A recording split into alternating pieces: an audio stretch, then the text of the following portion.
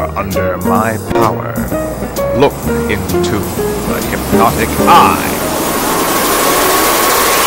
You're not dreaming, dreaming, dreaming. You're watching cinema. Insomnia.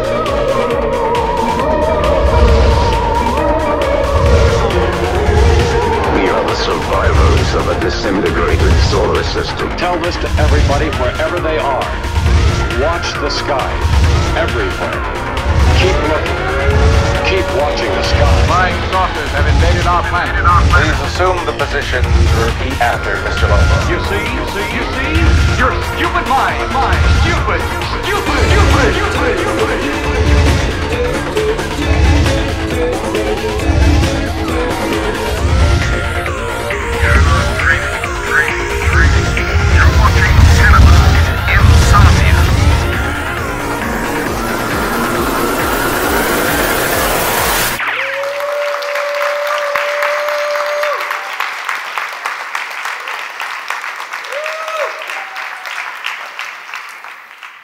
You're not dreaming. You're watching cinema, insomnia, live.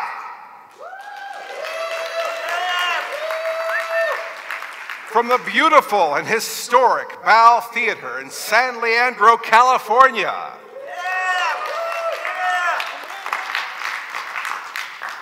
Tonight's feature is in Teen O Vision.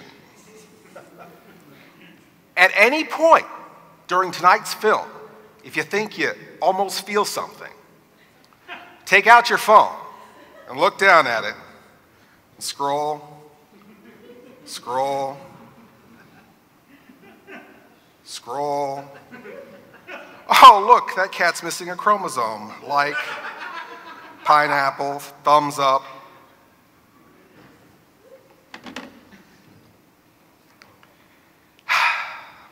I'm your beautiful and historic host, Mr. Lobo.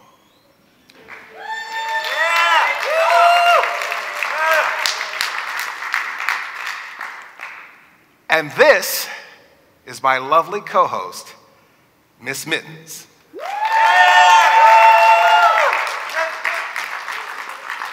Are, are you on your phone already? We haven't even started the film yet. Okay? All right, all right, all right, all right. Look, look. Mr. Lobo's a little old fashioned, but I, I'm not sure how I feel about encouraging people to take out their phones in this beautiful theater. I mean, not just for piracy issues, because let's be honest, who would steal this show? But the idea of looking at a telephone in a place like this, okay, you know, you don't have to turn off your phones when you go to a movie. You get to turn your phones off during a movie. Take a vacation for a couple of hours from all that digital diarrhea out there and enjoy in something real, in this real place, with real people. I want to thank Dan Dillman for making this a free show and inviting everyone to come down. Uh, what? It's because my fans are cheap ass? Why would you say things like that? Oh, Miss Mittens, I, you know, I'm not, you know, if you, you've started drinking already, haven't you? All right. Tonight, we're showing a sci fi classic adventure comedy about a time traveling teenager who bumps into his parents when they were teenagers in the 50s.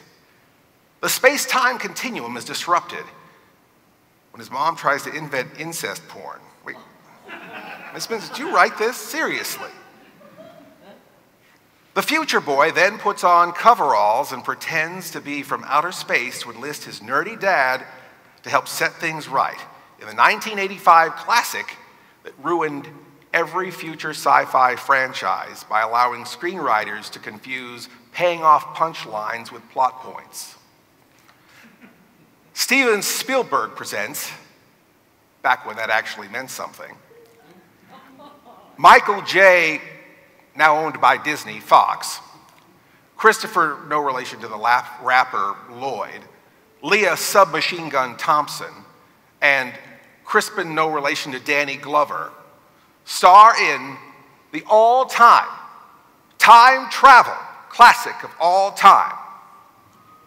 Back to the future.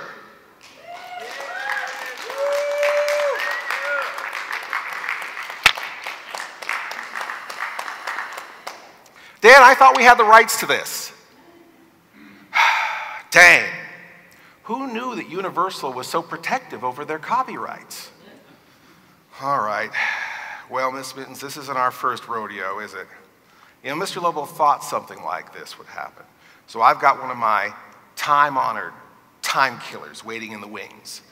It's even got sci fi teenagers running amok in the 50s, okay?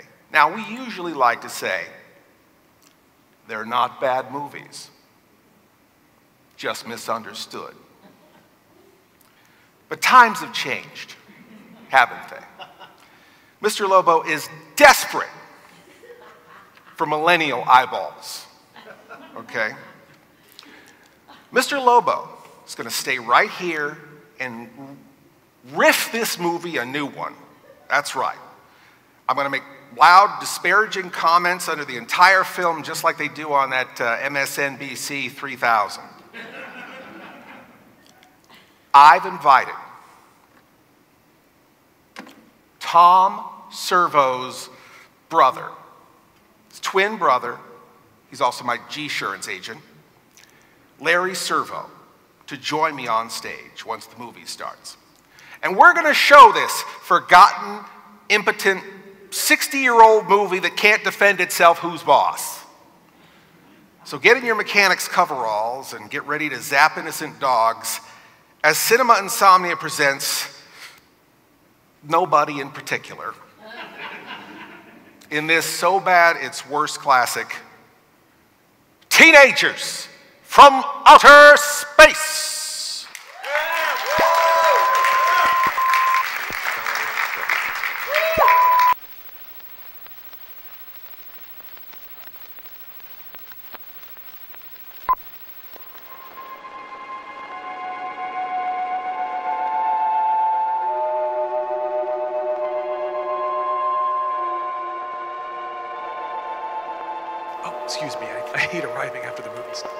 Disrespectful. Dr. Mason? Dr. Hi. Mason?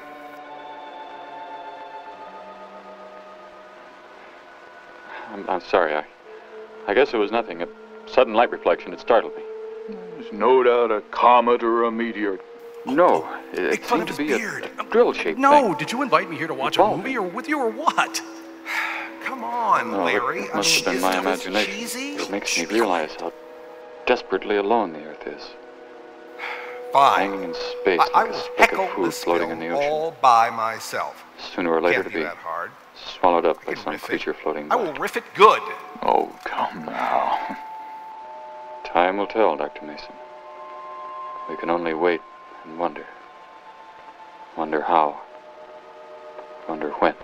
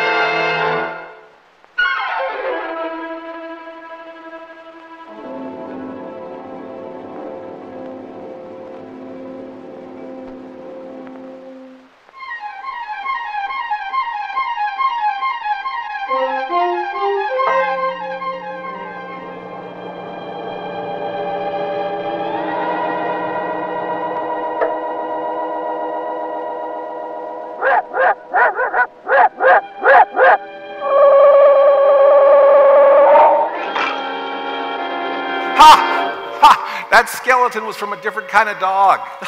that was so pathetic. J- just shut up, please. You're embarrassing me.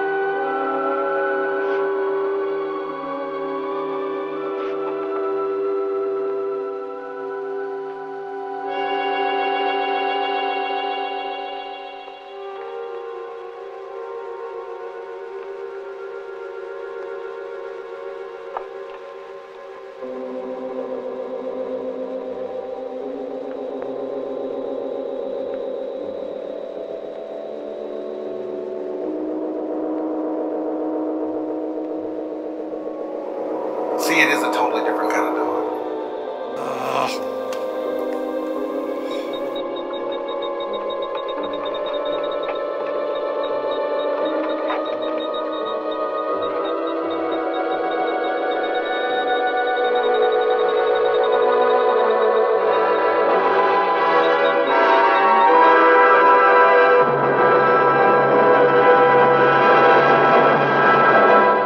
Report preliminary findings. Reporting 42 saturation degrees and 96 volumes. Intermediate fluctuation in Marfan content. Derek reporting. Tridex mixer components ratio exceeding 7 to 1.4. Moral reporting. Diagonal adjustment reading resisting structural forms by 2.8.0 vernums. Saul reporting. Uneven cartoid levels intersect planes below 0.03.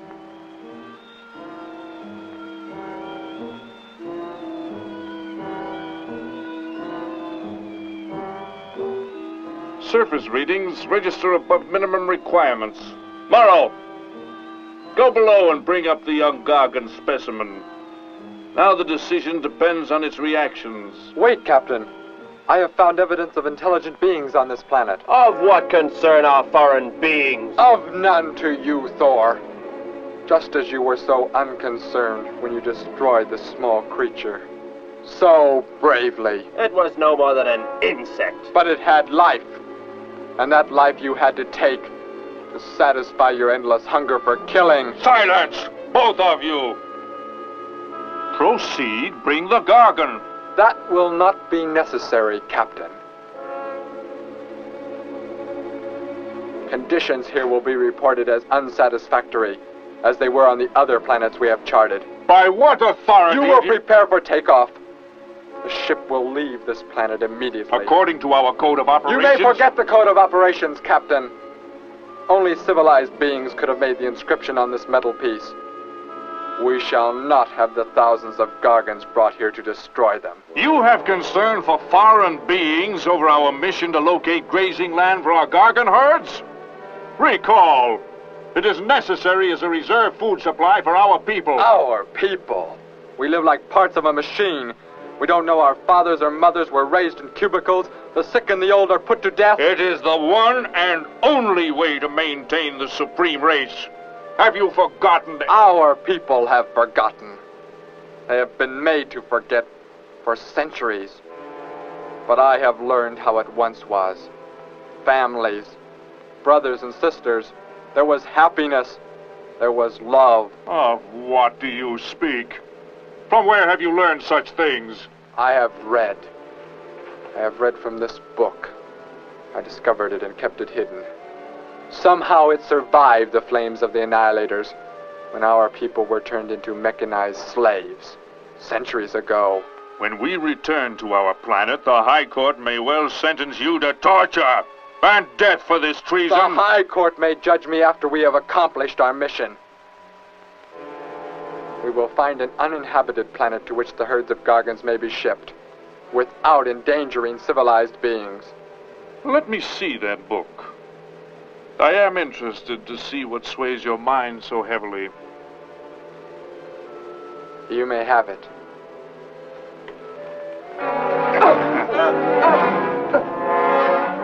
Bring up the Gargon. You were a fool, Derek. This book has poisoned your mind, and you shall suffer for it.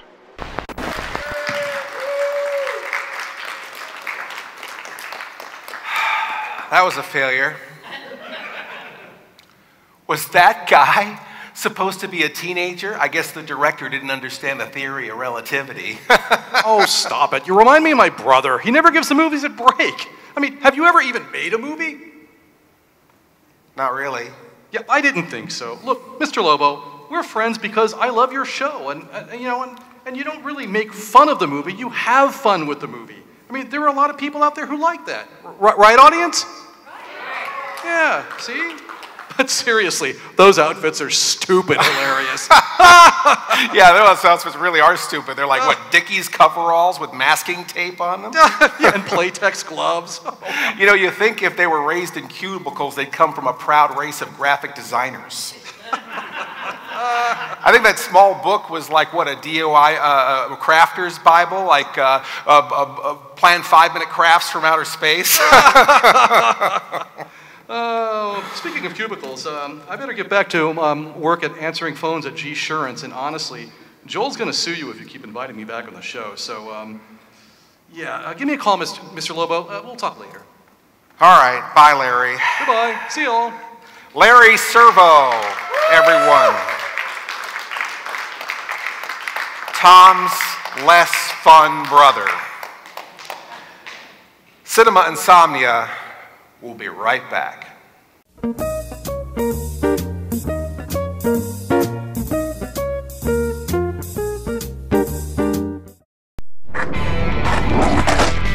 Like you, like you, I love to shred. But even a hardcore skateboarder like myself slams sometimes.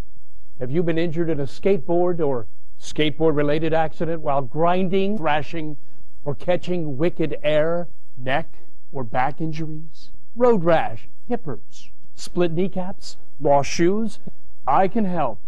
I'm on your side.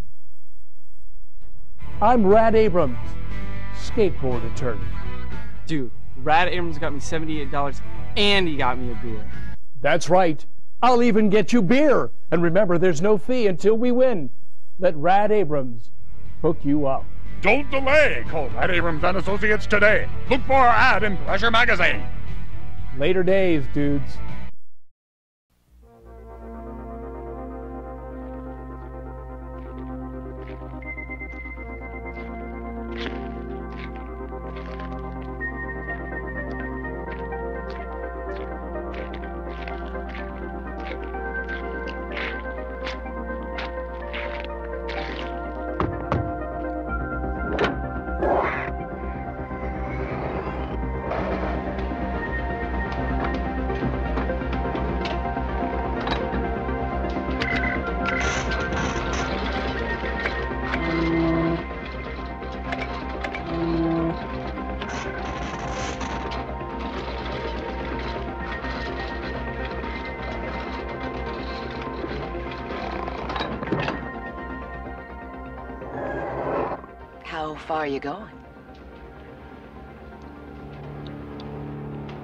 30 years.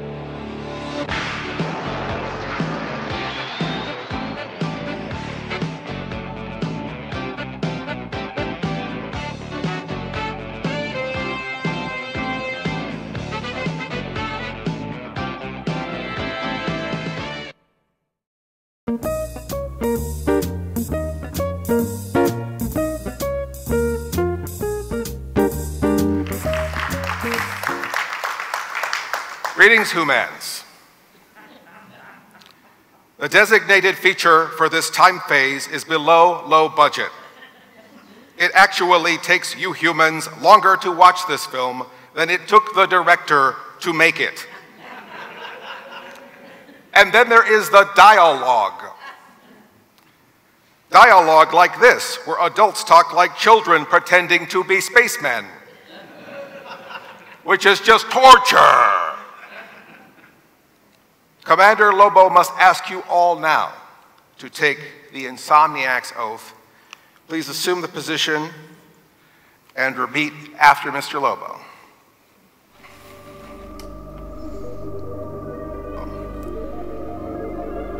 I, as an initiated member of the Sleepless Knights of Insomnia,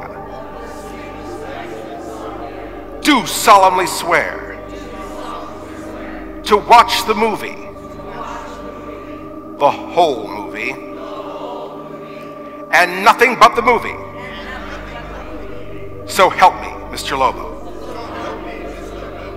You may stand down. Ah, oh, that hurts more every time. And now back to reel two of his torture. Teenagers from outer space. Captain, if the Gargons are shipped here, the inhabitants may destroy them. That possibility alone makes it worthwhile to locate an uninhabited planet. That book has indeed made you forget many things. We are the supreme race. We have the supreme weapons. Keep him under guard, Thor. I will study the reactions of the young Gargon.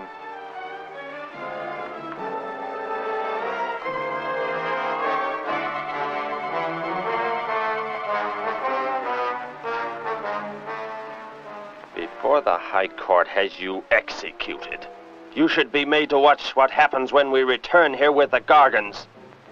By the elements alone, they will grow to millions of times their original size in less time than it takes for the sun to rise and fall.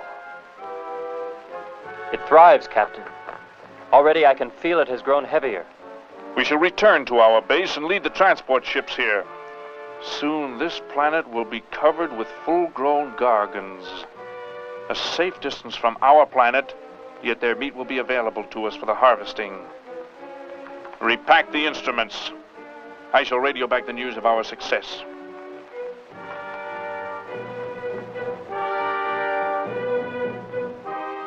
Captain! Captain, something has gone wrong. Look here. What? What has happened? I do not know. It suddenly fell limp, and now does not move. Assemble the TRSs, hook in the gas grading instruments. Be quick!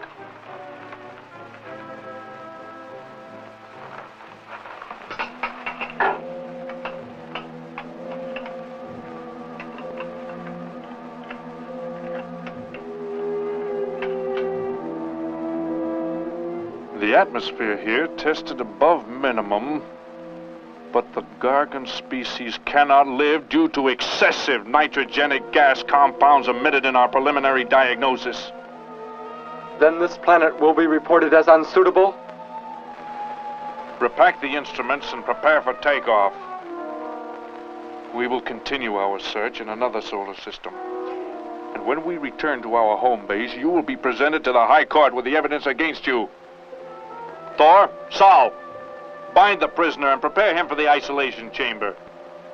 I will make contact with base.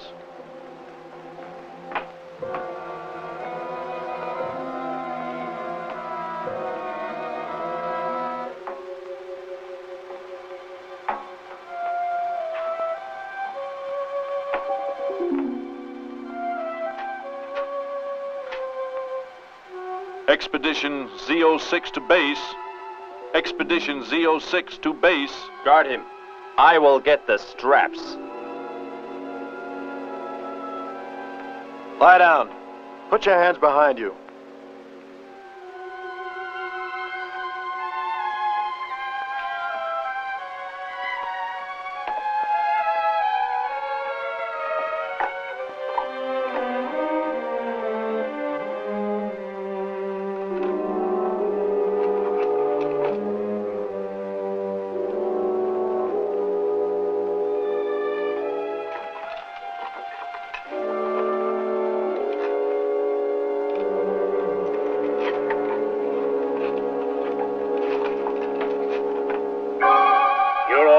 Complete.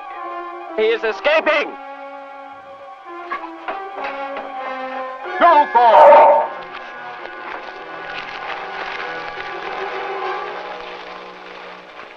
How did he get free? He escaped from Saul. I could have stopped him. Derek is to be brought back alive. He is the son of our leader. Derek?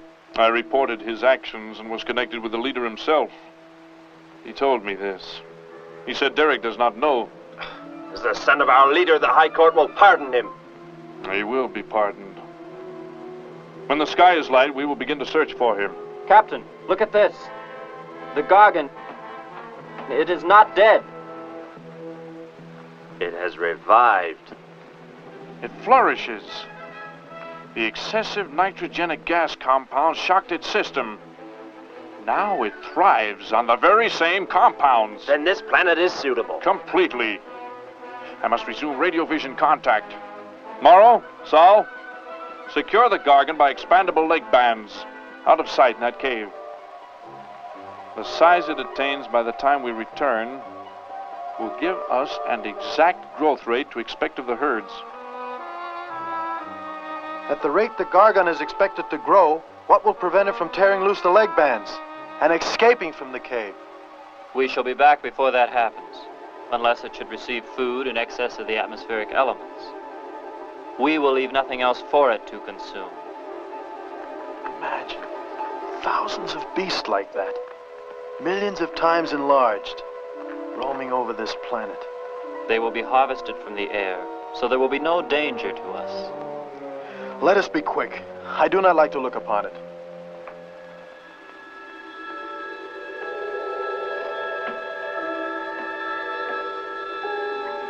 Now that you report the planet is suitable for our purposes, you are to return here immediately and prepare to lead the transport ships there.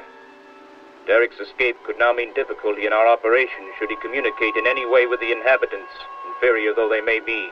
If we are to return now, how can he be stopped? Leave your best man to find Derek and inform him he is my son. I will join you on the return trip to meet him there. He may be stubborn. He has already threatened our lives. If that becomes the case, he. he must be destroyed. And any beings with whom he might communicate, they must be destroyed. Your orders are complete. I shall send my best man. I heard the orders, Captain. Let me find Derek. You will wait until the sky is light enough to begin the search. We will leave now and return here to meet you when we bring the Gargons.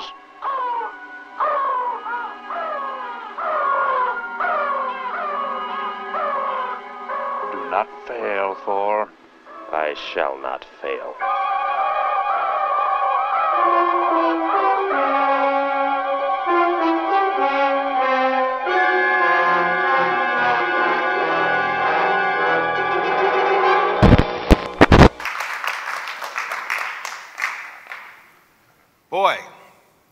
That Gargon sure looks fierce. That's what they call that droopy Cajun crawdad there in the chicken wire drum. I think it's supposed to get bigger, like one of those toys you throw in water and then it grows a hundred times its size.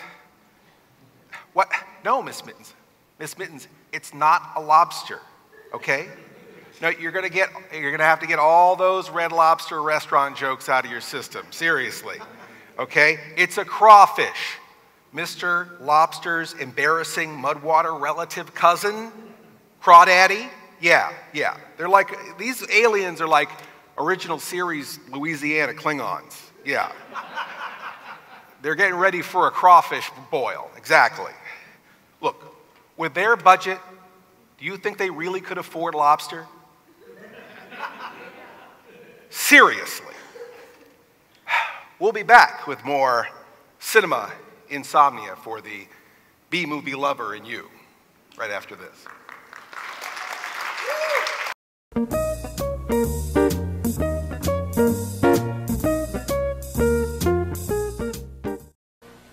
Red Lobster is where America goes.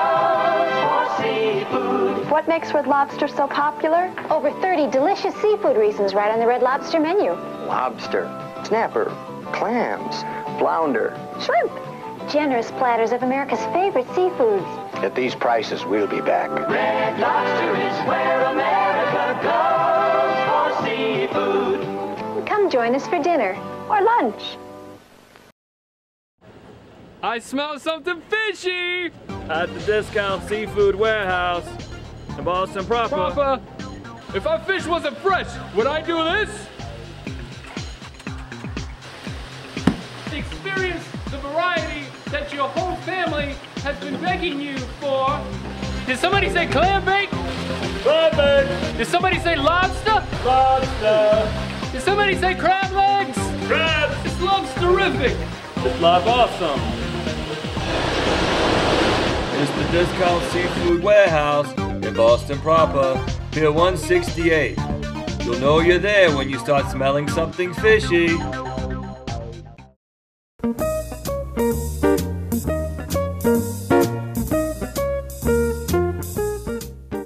Welcome, kind stranger, to Anytown, USA, the pride of Earth's northern hemisphere.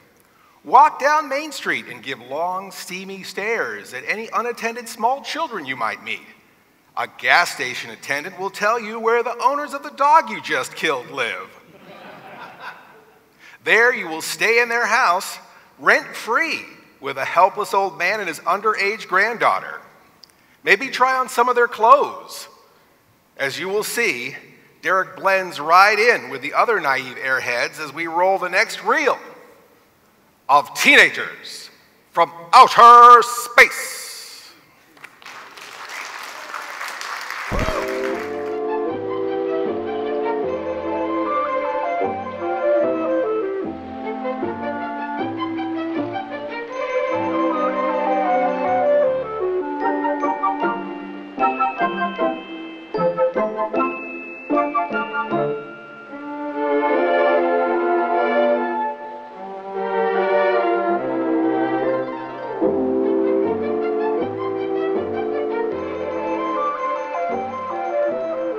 Can I help you, sir? Yes, I. Would. Would you tell me the meaning of the inscription on this metal piece? Sparky, 1243 Willowcrest Drive. That's just three blocks down there and a few doors up. You, you can't miss it.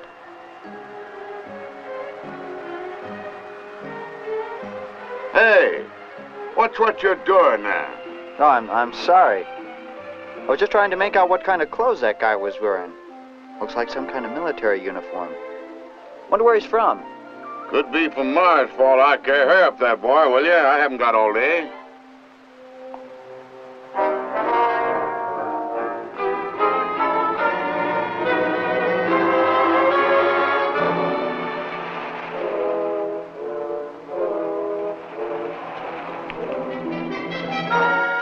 Hop in, I'll give you a lift. Lift? Well, it's a long way into town. Okay, it's all right with me. Wait.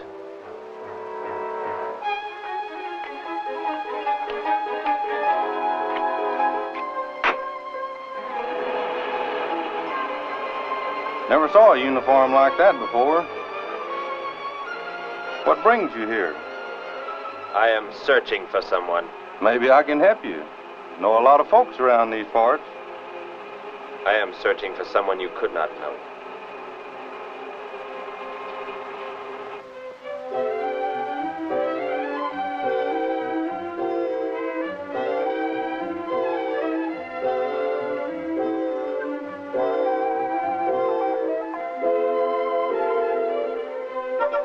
I put Sparky's breakfast out 20 minutes ago, Grandpa, and it's still here. He's probably still out chasing gophers. Hello. You've come to see our room for rent? What's that? A fellow to see the room for rent, Grandpa. You show it to him, will you? Joe'll be by for me in a minute. We're going swimming at Alice's, and I haven't even changed yet. Well, come on in.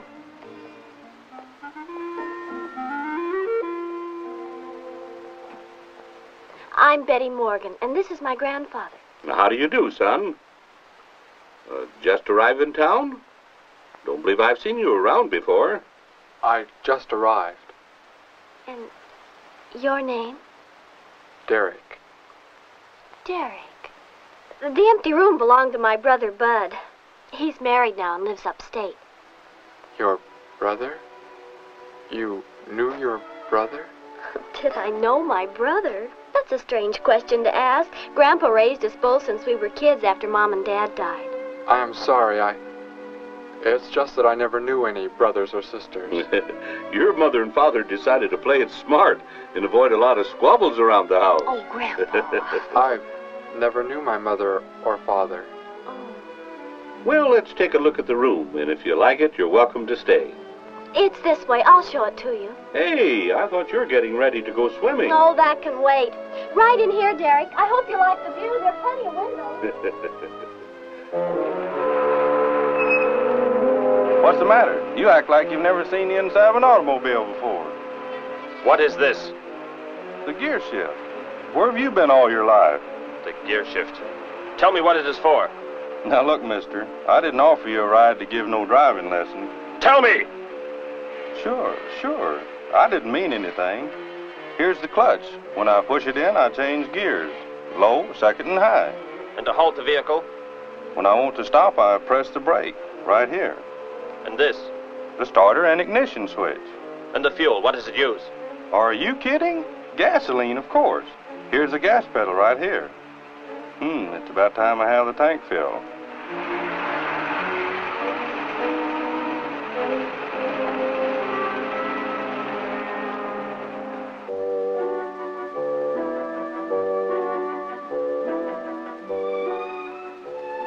I asked him where he was from, Grandpa, and he just said he was from very far away. He did, huh? Well, maybe he doesn't like to talk about where he's from.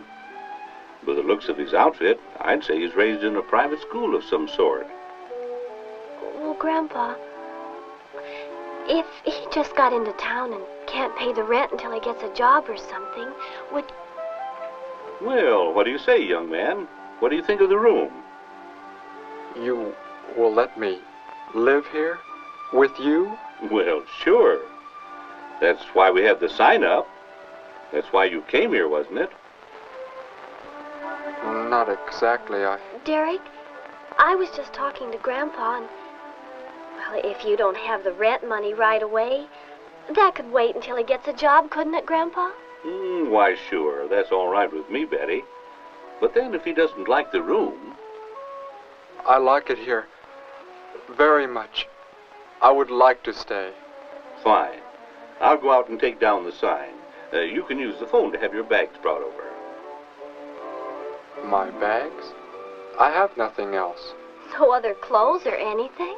We were not allowed to. I mean, my uniform is all I have. Gosh, you've got to have more than that. Uh, Bud left some of his clothes in the closet, Grandpa. Couldn't Derek use some of them? Of course, my dear. Bud wouldn't mind a bit, I'm sure. Oh, golly, that's Joe. Put on whatever you like from the closet, Derek. I'll be right back. Make yourself at home. Hi there, Joe. Hi, Gramps. Betty, I'm afraid I can't make the swimming date. Not till later, anyway. Got a sudden assignment for the paper. Oh, gosh, what now, Joe? I have a list of folks to interview. Say they saw a new flying saucer last night. That sounds like it might take you all day. I hope not. I'll call you as soon as I get through, okay? Okay, Joe. Yeah, I guess a reporter's life can be pretty hectic. You never know when a news story will break. I was just thinking. Maybe Derek would like to go swimming if you'd let us borrow the car. Betty would at that. Uh, if you don't think Alice would mind. you don't know Alice. I won't be able to keep them apart. While Thor was out with Goober inventing Uber, Derek checks into his own ET Airbnb. Uh, Miss Mittens showed me the listing. Single room and shared suburban home for one alien. One door, one bedroom, not seen here, one bed, probably, shared banter, no acting lessons required.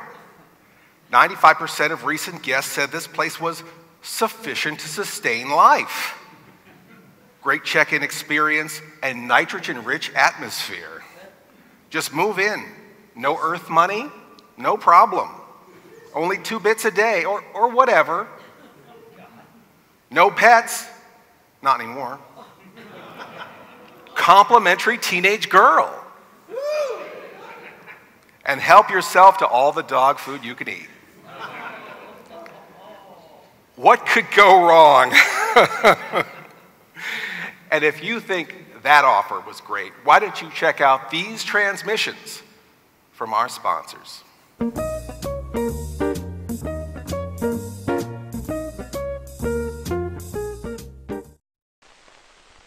You say you have extended periods of anxiety and depression and you're not eating properly. Why not?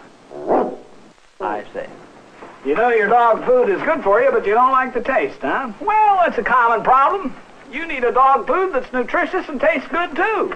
You need new Gaines meal. Gaines makes nutrition taste good. You see, every nugget is basted for flavor, to give it a taste and aroma dogs can't resist. And in spite of what you tell me, uh, you are a dog. and notice the small nugget size. It makes Gaines meal easy to eat and easy to mix. Go ahead, try it. See? Gaines does make nutrition taste good. Next patient, please. Get brand new Gaines meal. It makes nutrition taste good. Now buy five pounds of Gaines meal and save six cents. Ten pounds, save 15 cents. 25 pounds, save 25 cents.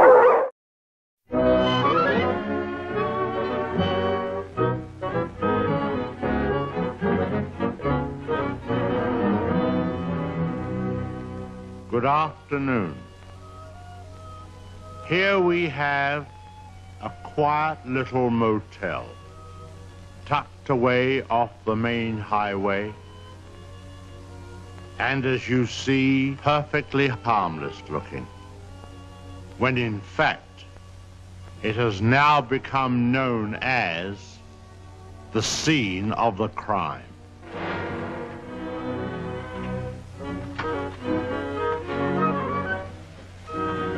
All tidied up.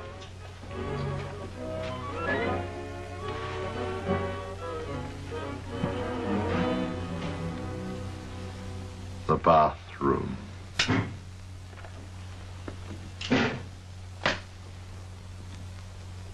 Well, they've cleaned all this up now. Big difference. You should have seen the blood.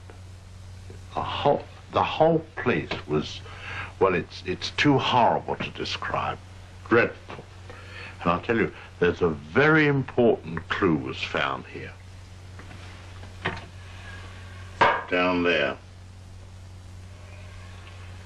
Well, the murderer, you see, crept in here very slowly. Of course, the shower was on, there was no sound. And uh,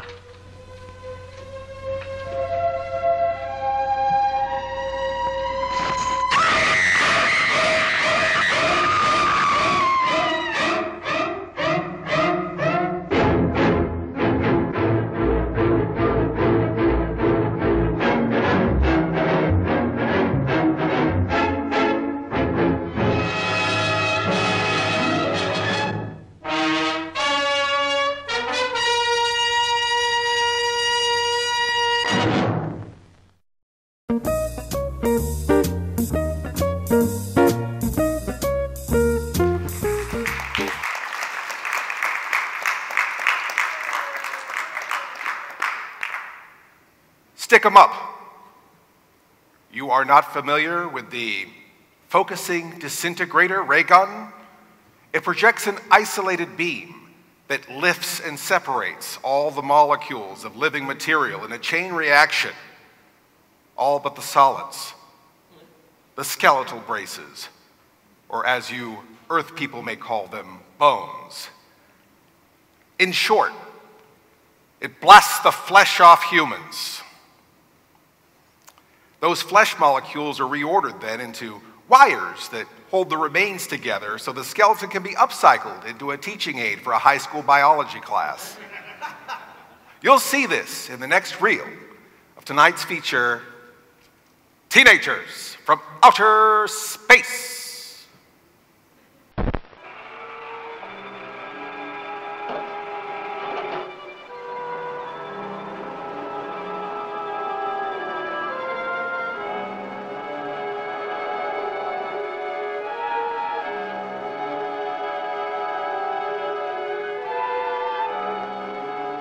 What's going on in town anyway, mister? A convention or something? What? Well, those clothes you're wearing. I talked to a guy this morning who was wearing the same kind of outfit. Maybe the guy you're looking for, huh? You spoke to him? What did he tell you? Where did he go? Hey, what's the matter with you? Hey, take your hands off me. You will tell me what he said to you. Oh, why should I? Hey, who do you think you are, anyway? Answer me, or I destroy you. He came here with a dog tag. Wanted to know about the address, and I, I told him how to find it. Where? Where did you send him? It was an address on Willow Crest Drive. 1243, I think. Tell me how to get there. Just drive down there about three blocks. That's that's Willow Crest. 1243. It's only a few doors up.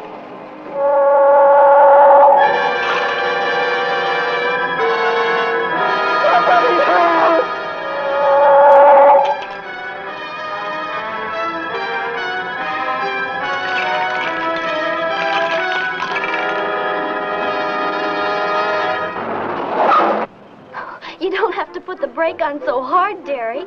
That is, unless you want us to go through the windshield every time. I have never piloted a vehicle like this before. I will try again. Uh, this time, pull in there. That's Alice's house.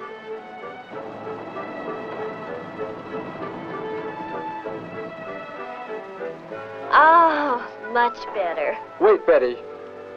Yes, Derek? What is it? When I came to your place, it was because of. Yes? I had just arrived here. I. I did not know where else to go, but. Everything was so strange to me. I. I'm glad you came. So is Grandpa. Without any family or friends, you wouldn't like it at a hotel or any place like that. Come on. I hope Alice can dig up some swim trunks for you.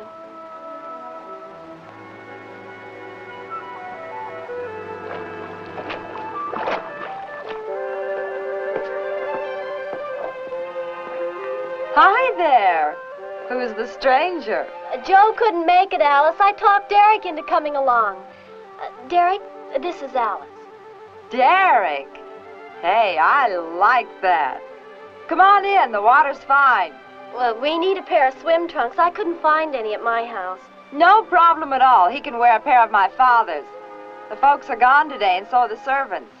We have the whole place to ourselves. Uh, where are the trunks, Alice? Hanging up right over there. They look a little large for you, Derek.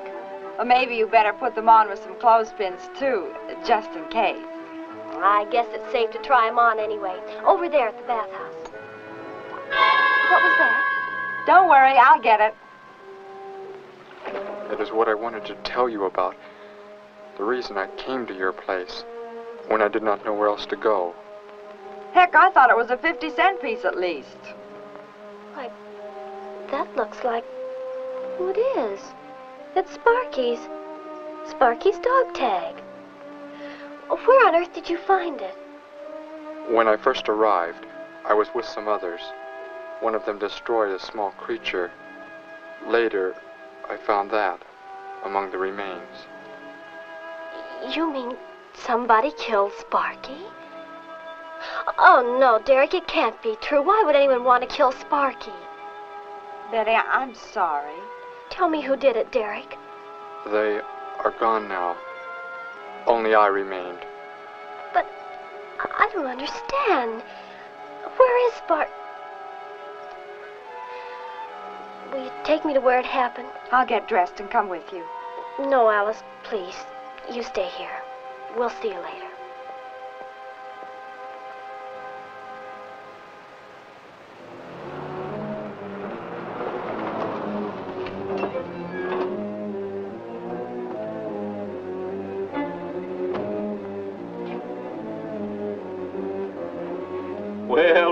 Derek didn't come into town alone.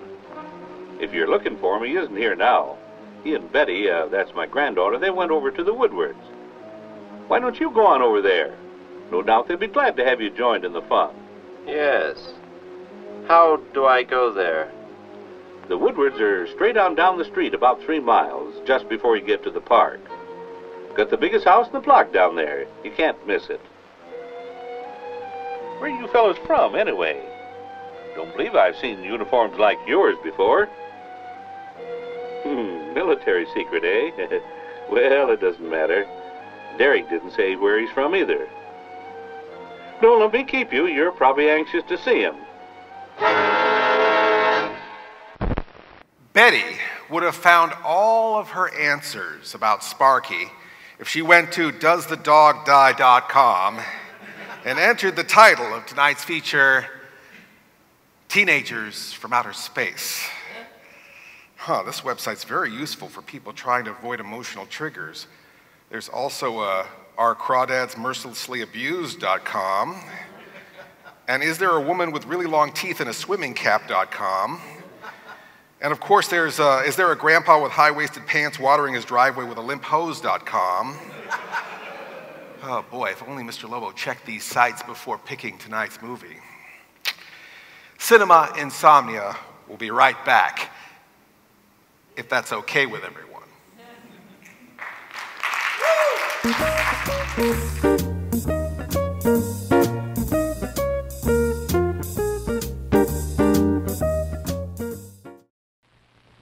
The Star Trek Super Phaser 2 target game uses one 9 volt and two penlight batteries, not included. It signals when you hit the target reflector badge. You can hang the target almost anywhere. Flash the phaser. It's a silent beam of light that signals when you score a hit on the target. You missed! I hit it! I hit the target! The Star Trek Super Phaser 2 target game includes phaser and target reflector badge from Mego.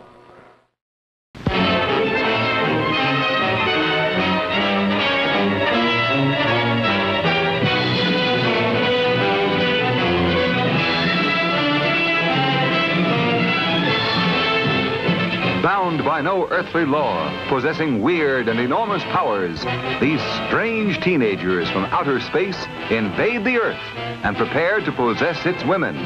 Nothing can stop their deadly advance. Earthmen are no match for their superhuman powers. They blast the flesh off humans. A moment before, she was a beautiful young girl. Now, she's a skeleton.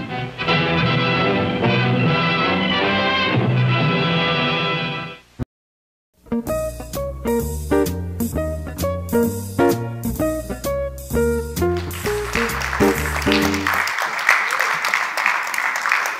now it's time for trivia in everyone all together.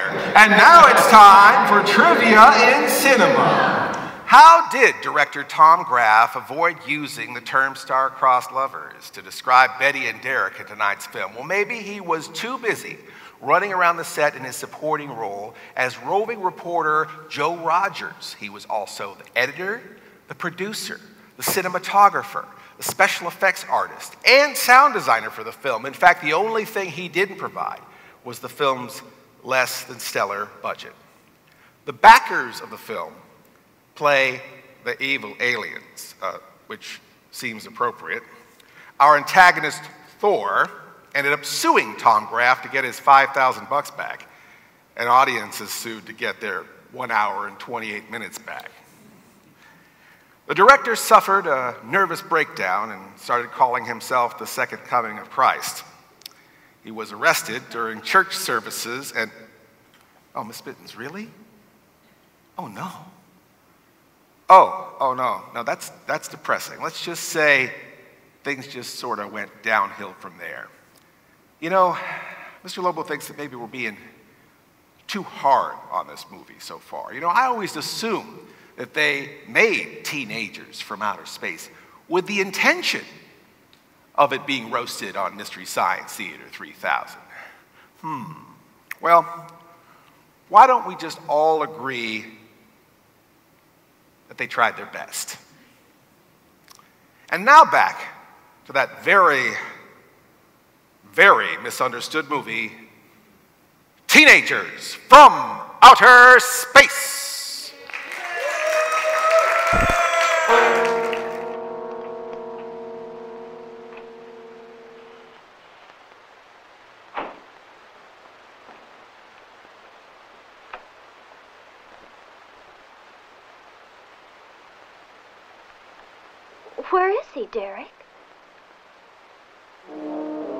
Those old bones.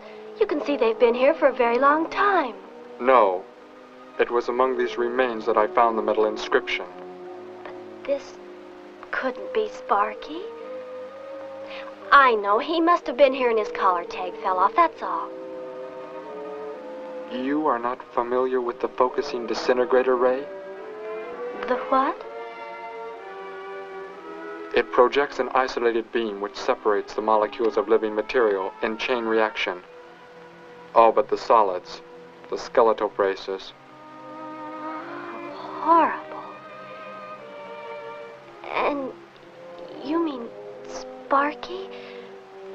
But Over there is what happened when the same beam was aimed at me. It missed, and that is what is left. good heavens, Derek. You've got to explain it to me. Why were they doing this? Where were they from? How, did you? We. Betty, tell me, what is the most advanced form of transportation that you know? What do you mean? What's that got to do with it? Please tell me, Betty. Well, airplanes. Jet airplanes, I guess. Why? And where do they go? From where to where? To anywhere in the world. And that's all? Where else is there to go? I should not have brought you here. Is it about a new secret weapon? Something you and the others invented and then they turned against you? It, It is something like that. I guess I should try to find someone I can explain it to. Maybe Professor Simpson at the college. He's head of the science department. He will. What is it, Derek? Betty, when you learn where I am from, well, you may not understand, but I hope it will not make any difference between us because I don't care where you're from. I don't understand all this, but somehow I feel that I've always known you. That we've never been apart. I. Let us go to the professor you speak of. We have to pass the house first so I can change. What was that? Did you hear a sound?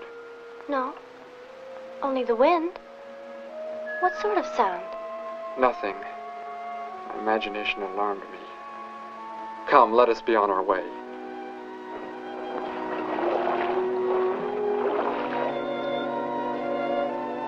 Well, hello. What can I do for you? You are alone? Could be. Where are the others? The ones who were with you? Why do you want to know that? Tell me where they are. Say, who are you anyway? Never mind. Just tell me. Well, they left here. They're gone. Where did they go? I think you better get out of here before I call the police. You will call no one. You will do as I say. That's what you think, mister. I said you will call no one.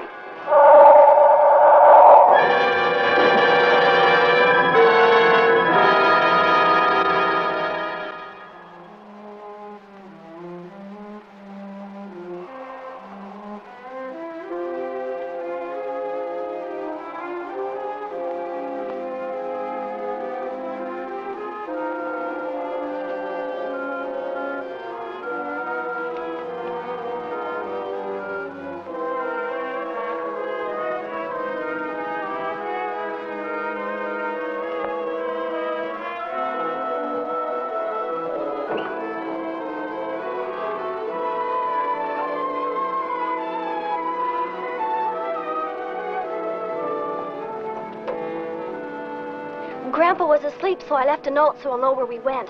If I know Grandpa, we'll be back before he even wakes up.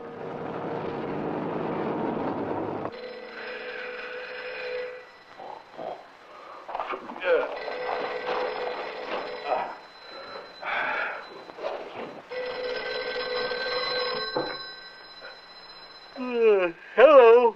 Hello, Gramps. This is Joe. Betty there? No, she and Derek went out over to the Woodward's pool. Uh, you could probably reach her over there. Derek? Who's Derek? Oh, you haven't met him yet, have you? Uh, he rented Bud's old room this morning. Seems like a nice fellow. Oh? Well, the reason I called, I wanted to tell Betty I stumbled onto a double murder story that may keep me longer, but Well, after I get the story into the paper, I'll I'll go on over to Alice's and see her there. A double murder, Joe? When was it? Where? We're not sure yet, Gramps. There's only a couple of skeletons. We'll know more when the coroner gets here. Well, gotta get busy now, Gramps. I'll talk to you later. Bye. Joe! Joe, I just found a note. Joe! Hello, hello.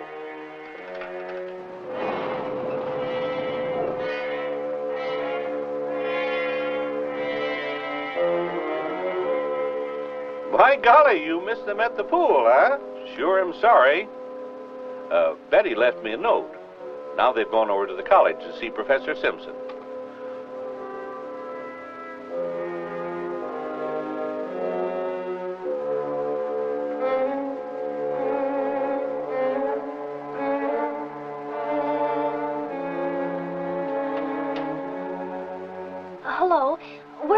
Find Professor Simpson? This is his office, but he hasn't come in yet. Well, let's wait for him at the faculty parking lot. It's just around the building. You may wait here if you like. No, thank you. We'll wait outside.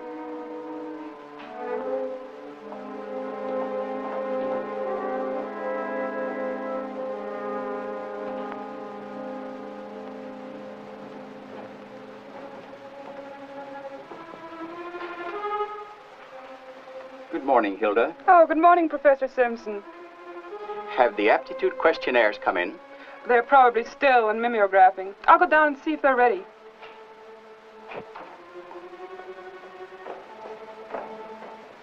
Uh, that's Professor Simpson's office, the third door down. Uh, he's head of the science department.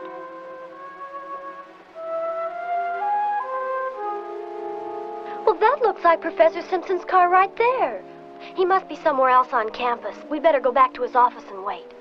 Hello? This is Simpson, Science Department. I. Put that down. What is the meaning of this? Do as I say. Who are you? Where is he? The one who came with information for you. Who? You are making some mistake. I am making no mistake. Where did he go? Out there? I don't know what you're talking about. You will speak to no one else.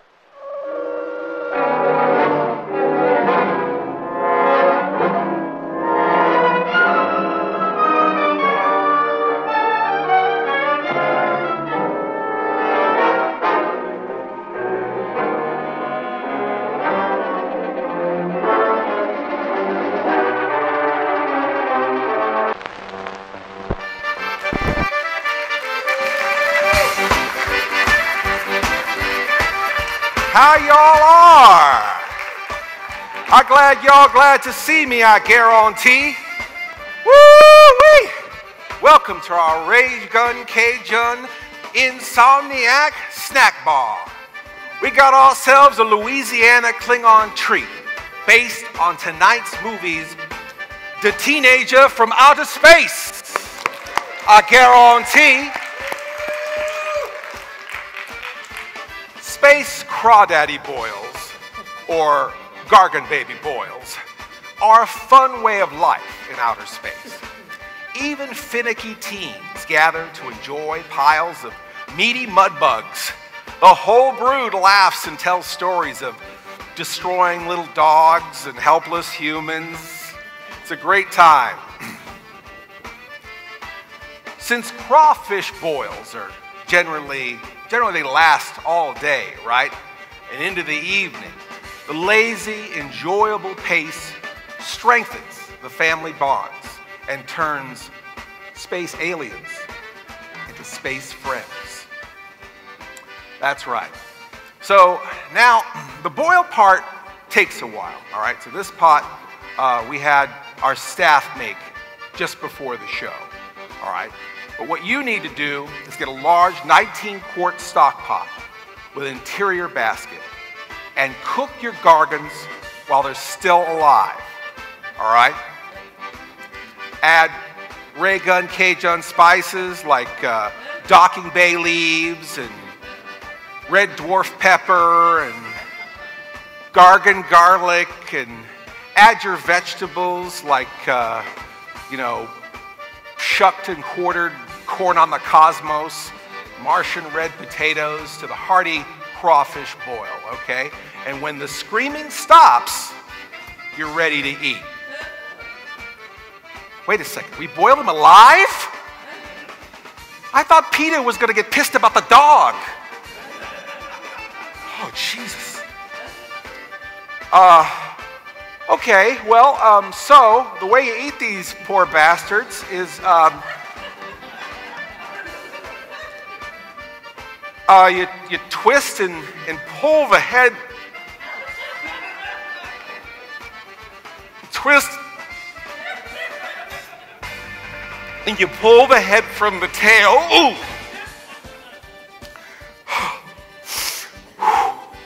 And to get that extra Cajun flavor, you suck the head. Okay,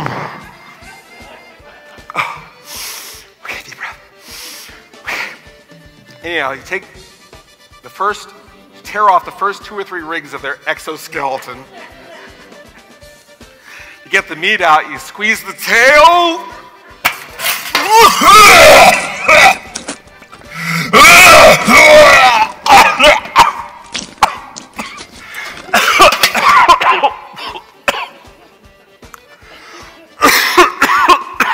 Oh no.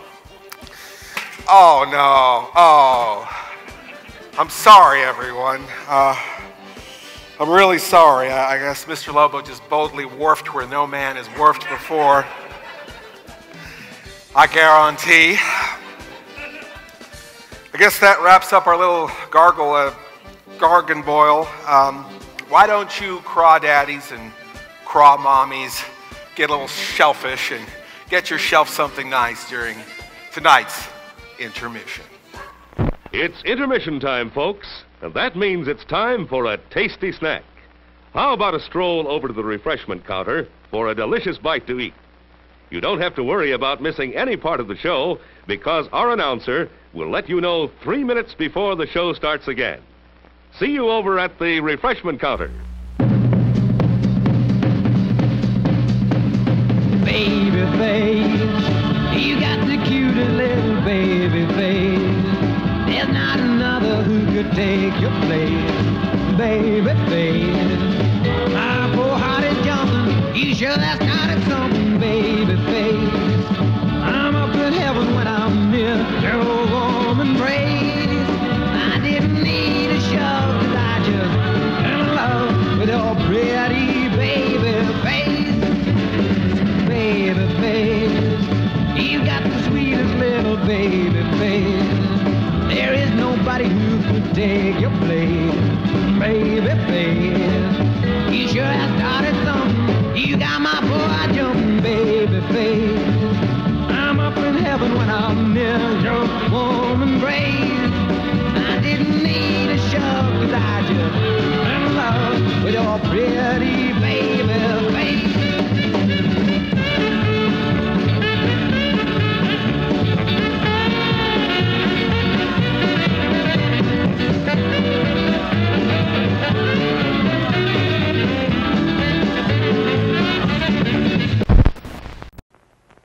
Crisp, flavorful fish sandwiches, golden brown and crunchy outside, and tender and juicy inside for a snack or a meal. It's a snack.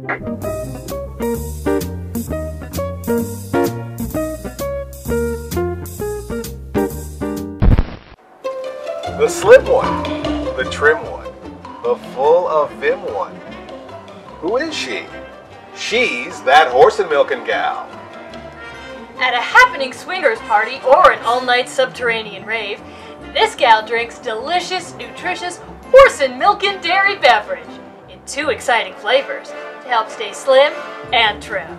Wait a minute. Did that horse and milking gal say two exciting flavors? Uh huh. There's regular and new chocolate colored horse and milkin' in the brown can.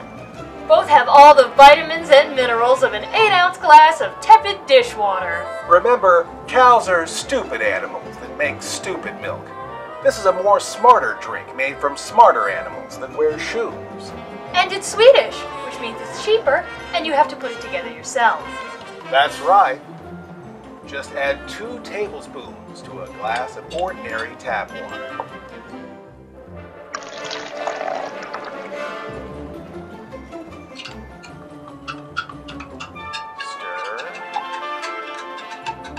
Stir. Scrape it off the sides. Look at the spoon. See if any stuck to the sides. Stir. Stir. Look at the glass from underneath. Stir. Stir some more.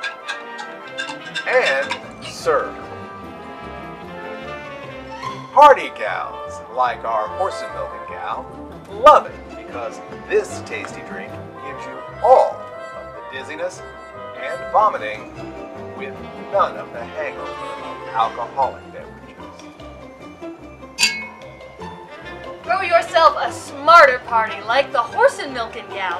Why don't you make yourself a slim, trim, full of vim glass of horse and milking And chocolate colored horse milk. During tonight's intermission?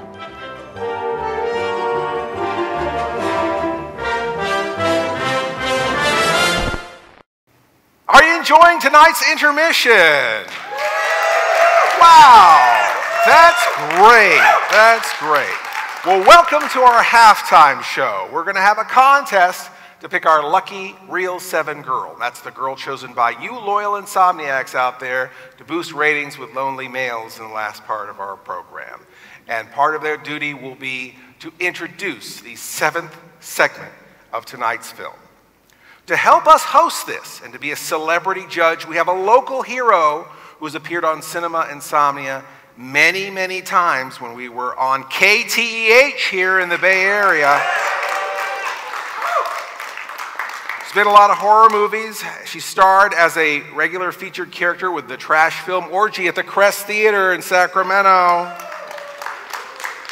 She's also in Ted V. Mikels' Astro Zombies M3 Cloned. And most importantly, she's related to one of the stars of tonight's movie. Please welcome back to the stage, after a 10 year tour of Europe, Scandinavia, and the subcontinent, ladies and gentlemen, cult sensation, the Queen of Trash.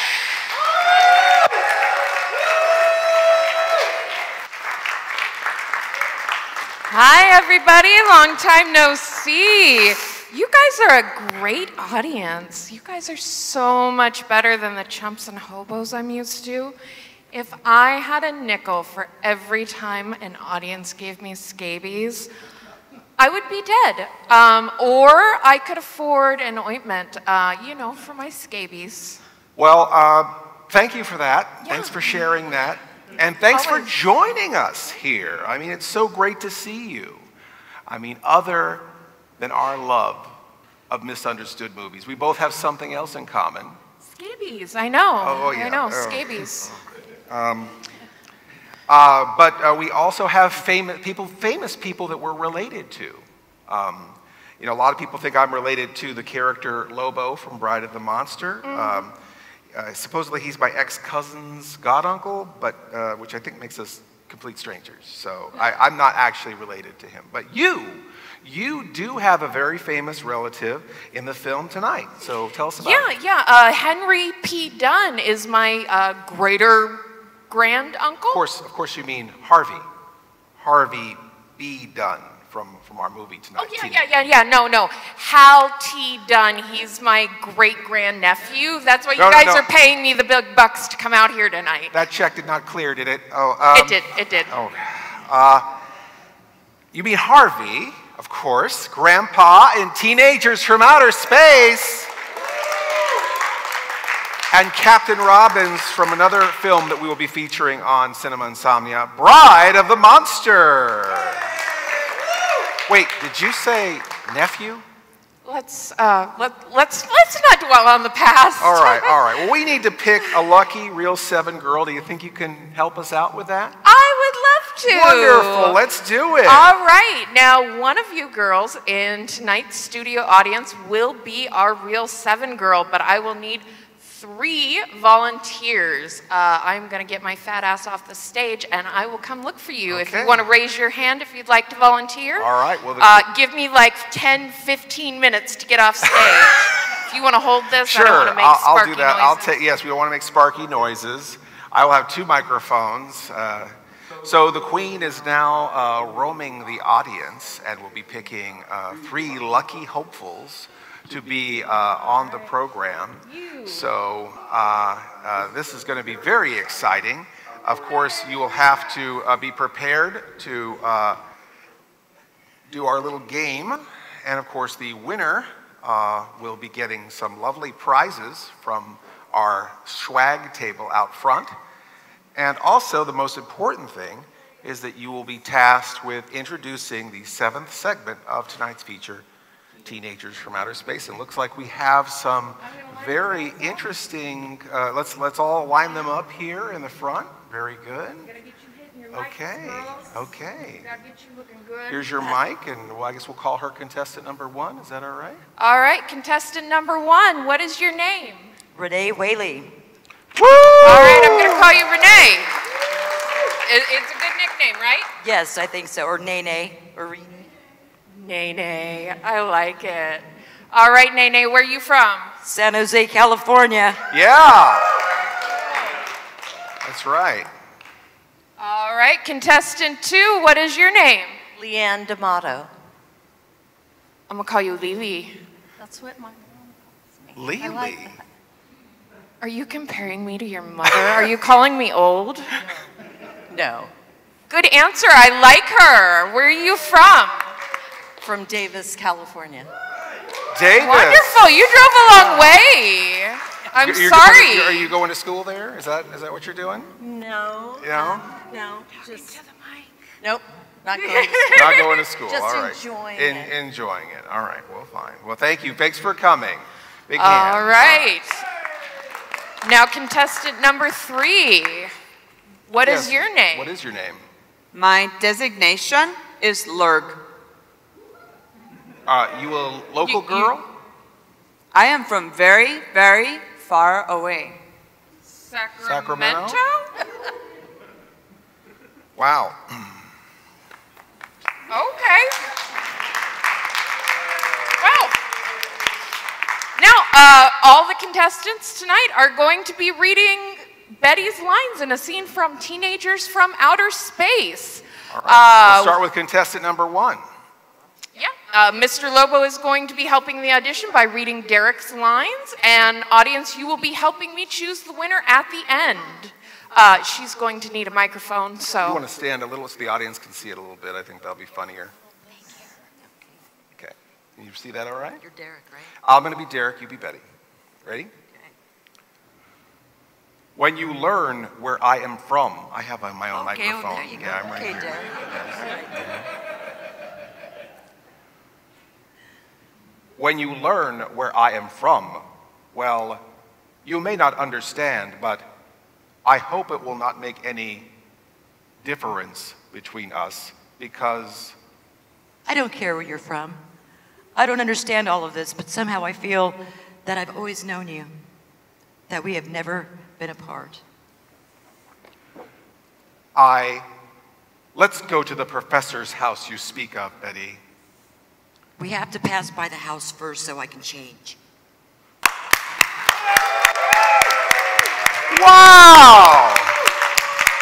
Very well done. I felt like I was in the movie. What about you, Queen of Trash? Uh, no, I said very well done, Oh, didn't I? Jeez. Okay, so we're going to move on here. We're going to do contestant number two. Hi, how are you?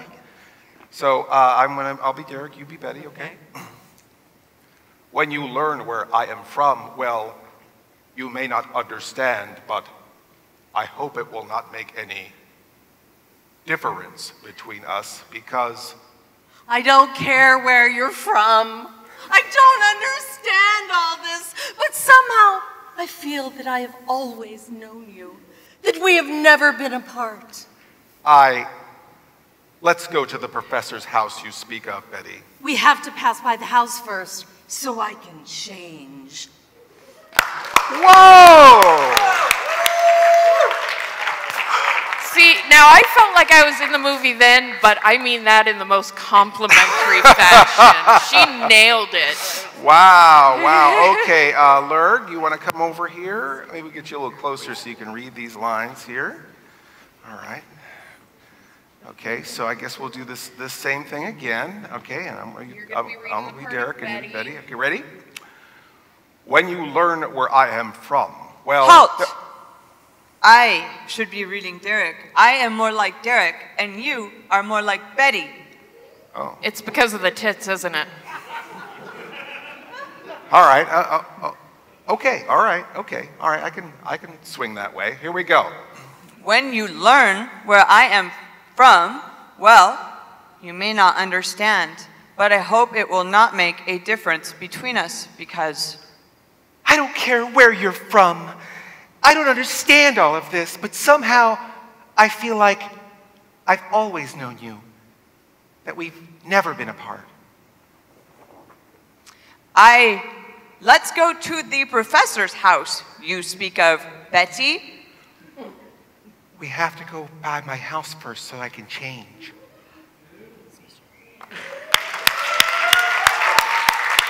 Wow. That was different. You know, Lobo, I really felt that your performance fell flat on that one. A little bit. Um, Yeah. Yeah. I don't know if you're going to win this. Oh. I'm sorry. Um, you know, the final decision is mine, and uh, I would like to hear the audience help me out and let me know who their favorite is. So they're a little out of order now, but uh, why don't we give it up? Who likes contestant number one the best? All right, and now contestant number two. Ooh, that's a close one. And how about our Who Man Lurg? Whoa! Ah, it looks like Lurg is our new Reel 7 girl. Thank you. Wow, big so hand much. for our new Reel 7 girl. Big hand for our other great contestants, Lily and Renee, ladies and gentlemen. Wow, that's incredible. And a big hand, of course, for our hostess with the mostest, the mighty, mighty queen of trash, ladies and gentlemen. With mostest scabies. Wow.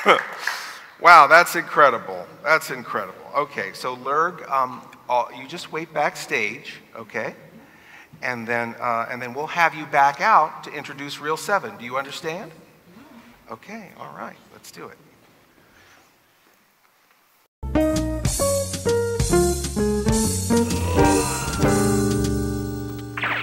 You're not dreaming.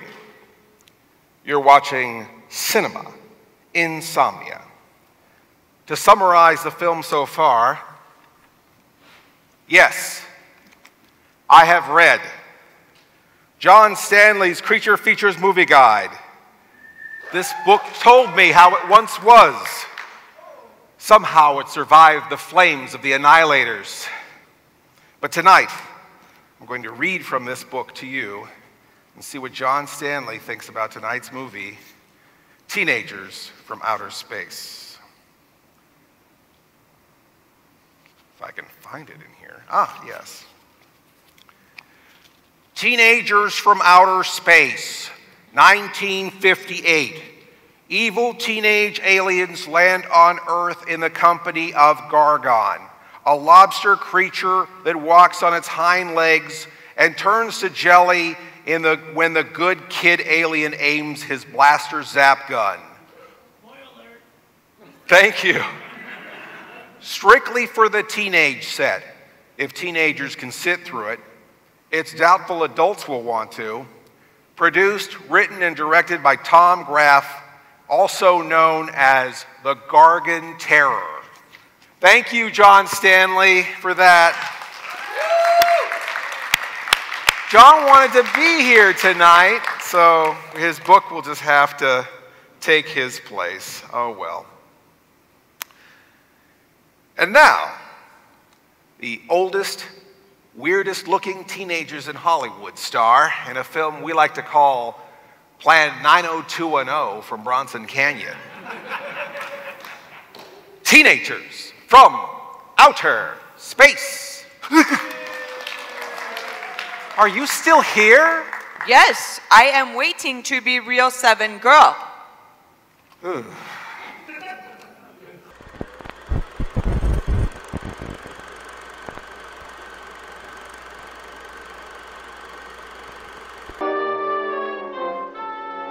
found his car, so... Yes, I know. He came in right after you left.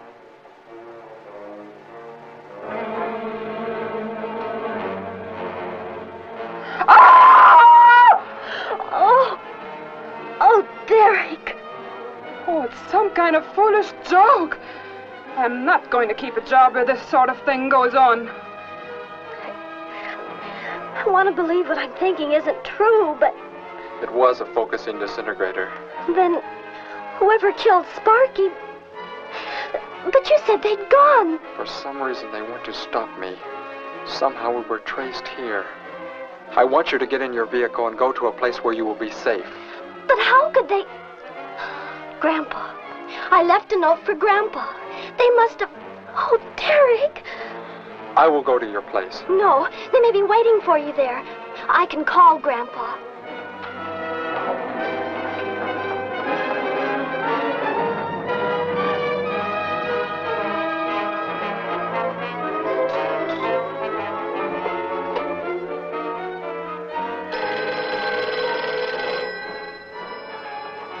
Hello? Oh, Grandpa, thank heavens. Derek, he's all right. Betty, what is it, child? What's the matter? Grandpa, was somebody there? Somebody you told we were at the college? Oh, yes, the friend of Derek's. Uh, did he find you okay? He's a murderer. He killed Professor Simpson, Grandpa. He's after Derek, and he's probably on the way back to the house right now. Murderer? But uh, are the police? Don't argue, Grandpa. Just get out of there. We're going to the City Hall police station right now. Meet us there. Don't worry about me, Betty. I'll leave right away. Goodbye, honey. I better call the police and let them know we're coming. With what weapons are they equipped? Well, guns. Why? Guns that emit what? Bullets? What do you mean? Bullets. Centuries old invention against. Hello, operator. Give me the police department. Hurry.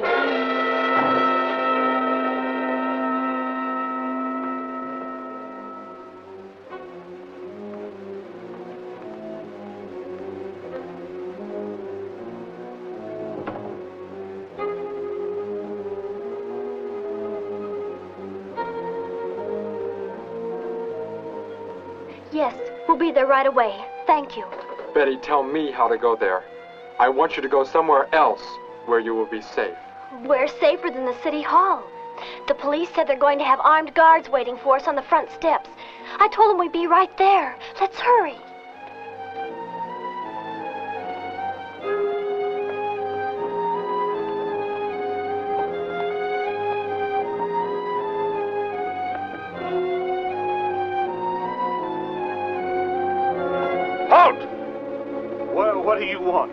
I spoke to my granddaughter. You're not getting any help from me. Did they return here? Tell me. I have no reason to harm your granddaughter, but if you do not tell me, I'll... you can kill Derek? Why should you care about him? Why shouldn't I? Why do you want to kill him? I... It is important only that he leave here, that I return him to where he belongs. And where is that? From where he escaped. I need not harm anyone if you tell me where he is. If you do not, there will be many deaths. Beginning with you, now. He's not here. He's in the center of the city. Where? Take me there. You will pilot the vehicle. Go. Be swift.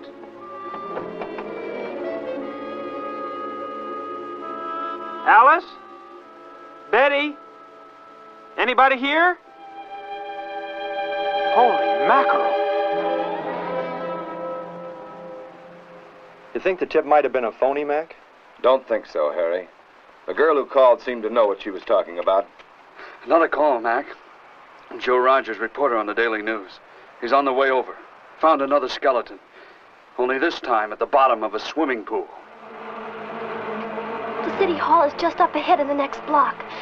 Oh, I hope Grandpa's there waiting for us safe and sound. What are you doing? Be silent. Continue ahead.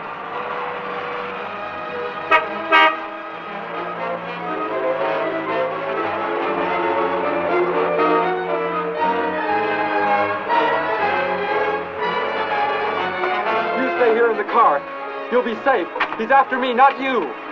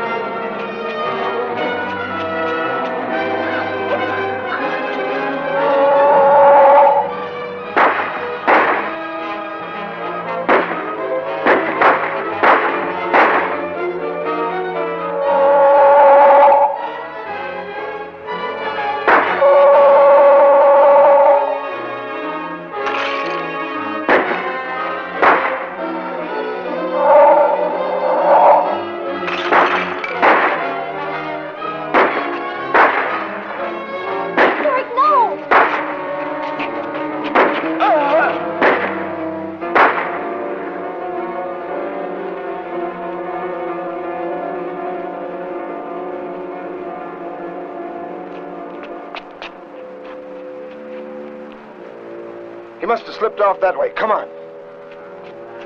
Stay under cover.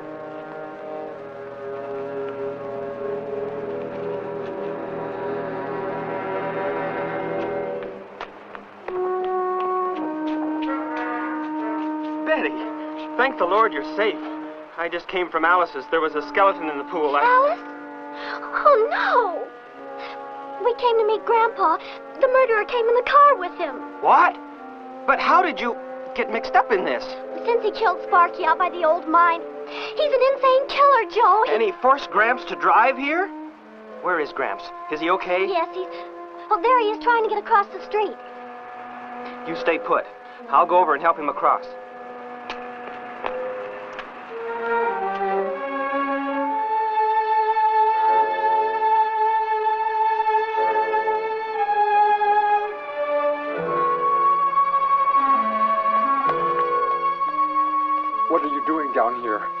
Go into the building. That is the safest place.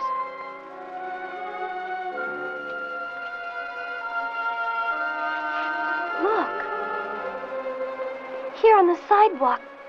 Drops of blood. Betty, go into the building. Derek. Give me the weapon you have, Derek. Slowly. One sudden move and I slay you both. Derek? Derek, do as he says.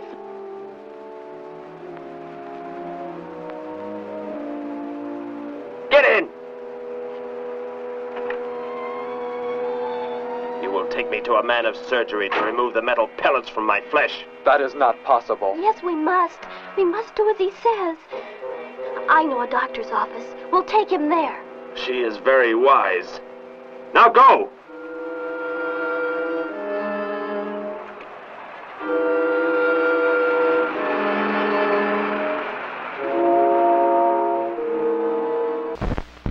Look, Miss Mittens, I can't get her to leave. I mean, she's been staring at me with those vacant eyes of hers the whole movie. I wish someone would teach Miss Geek here how to people. Oh, no, not me. I hate confrontations. Yes, I suppose it is rude to talk about her like she's not here. Oh, uh, that was uh, reel six. Reel six of tonight's movie. Stay tuned for our lucky reel seven girl who'll be introducing the next reel, the next reel, coming up after the break. I found these clothes. I like your raisin toast and your gasoline. Save it for the next segment, will you, honey? I've never had one so eager before. But I like this place. I sure hope no birds get in here. Got one cuckoo already. Cinema Insomnia. We'll be right back.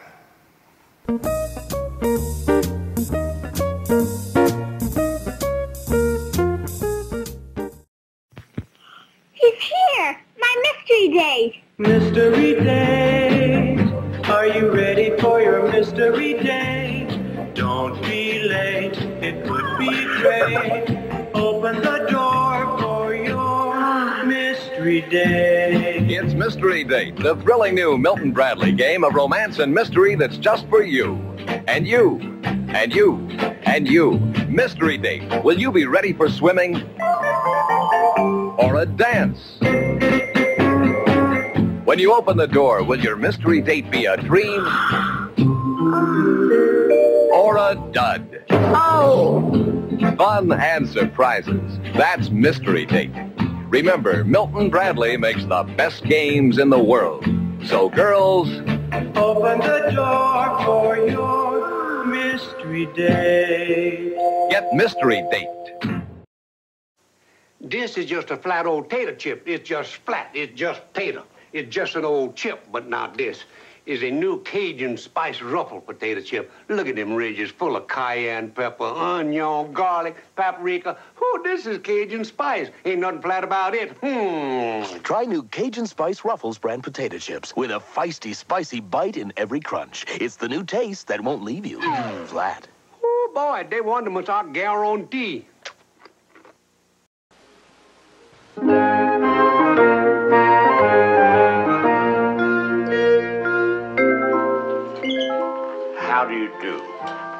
My name is Alfred Hitchcock, and I would like to tell you about my forthcoming lecture.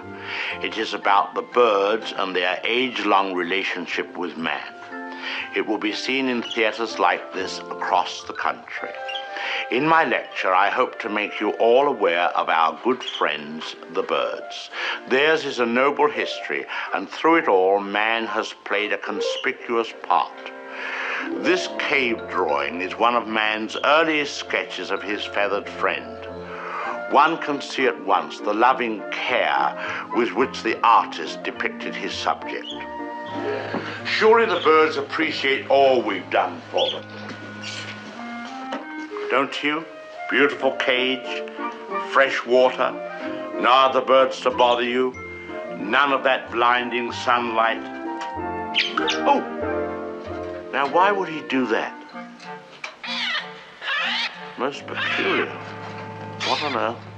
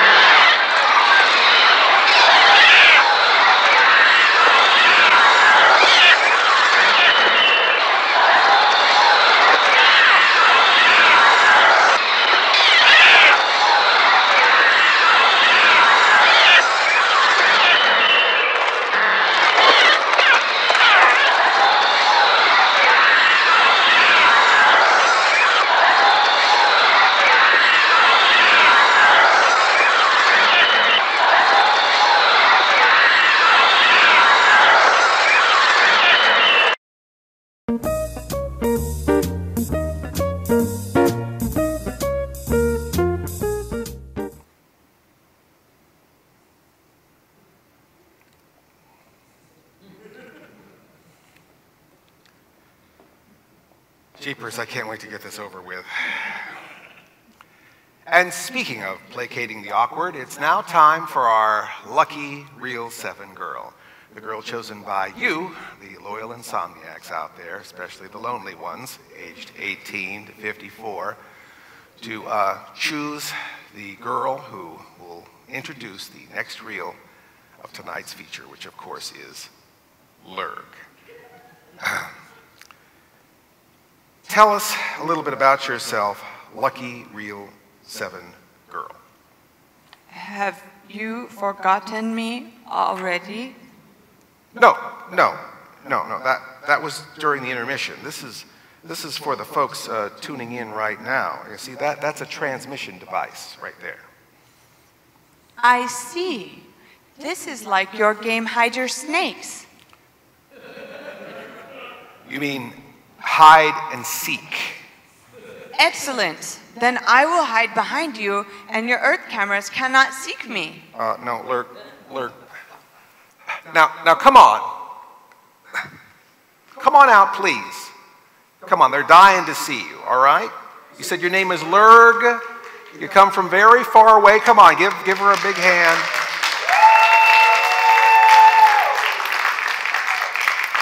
Yes, my name is Lurg, and I come from very, very far away. Very, very far away. I like it here. It is safe from the Gargon hordes. You have hair on your face. Uh, yes. Why don't you just introduce the next reel of tonight's movie? What is this movie you speak of? I, I thought you were going to make me a real girl, and I would finally be acknowledged as human. You are a, are a real girl. Uh, now introduce the reel. Just say, and now reel seven of teenagers from outer space. You did that perfectly. I would not do so well. I must decline.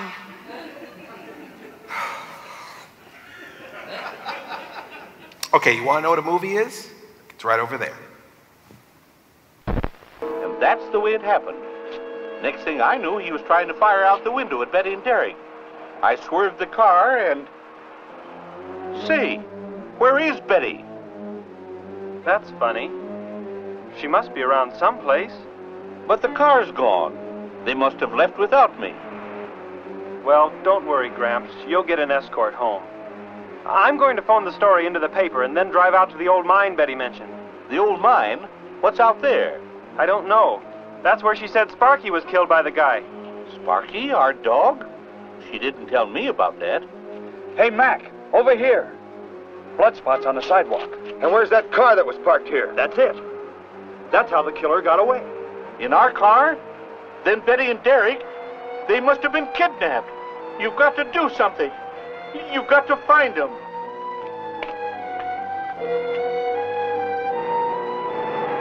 This is it, Derek. That's Dr. Brandt there. He looks like he's leaving. Stop him. Block his path.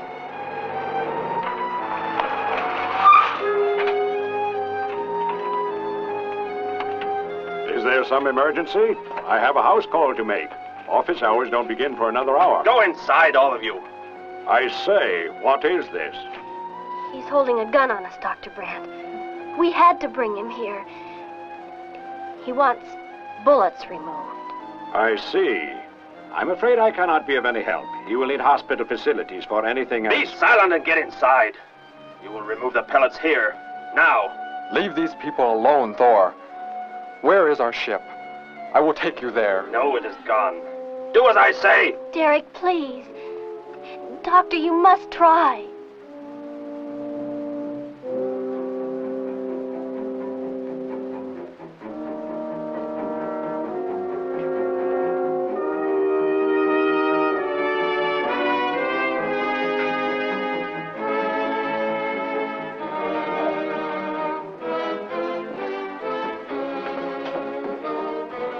You lie down here.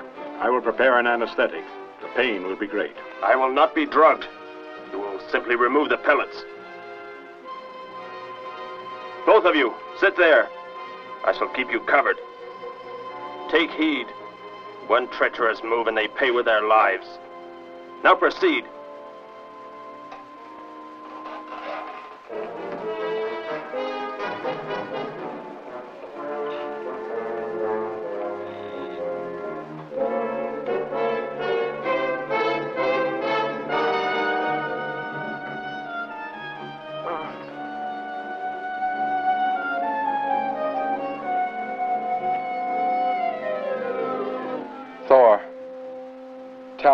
Have been searching for me. It must have been important for you to have. The Gargon to be raised here. You could not be allowed to run free. But the specimen reaction was negative. It was verified positive after you escaped. The captain should have let me kill you when I had a chance. And why didn't he? I saw him stop you when you fired at me. Because. Because he just learned that. You are the son of our leader.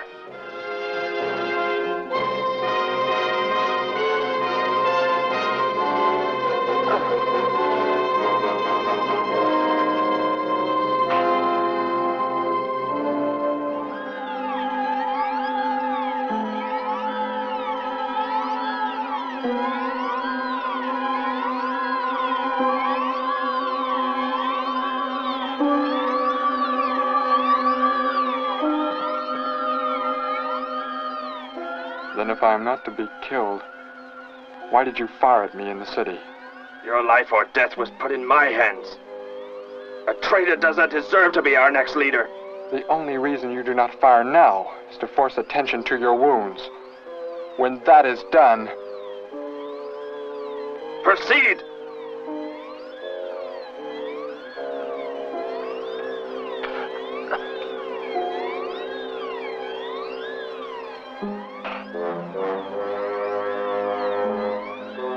Antiseptic must be applied to your wounds, and you will need bandages. I'll get them.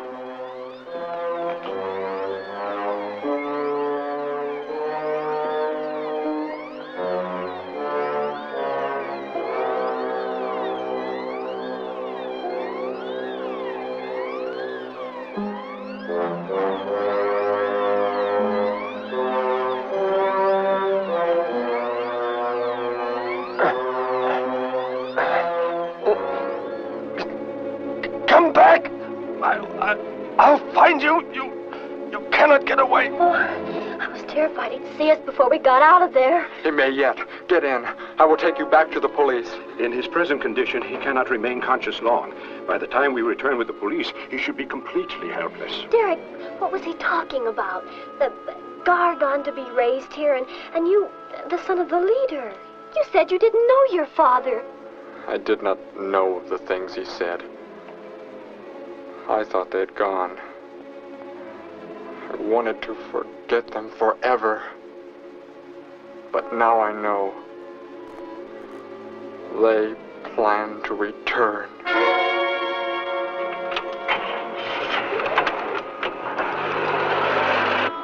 Hey, wait a minute. I'm going with you. Where? To the old mine shaft. How did you hear about that? The old fellow inside. He's been telling us everything he can think of. Mentioned that's where you were going. Okay, hop in. Maybe something will turn up out there. Uh, uh, uh, you're in here? I know you are. I'll find you.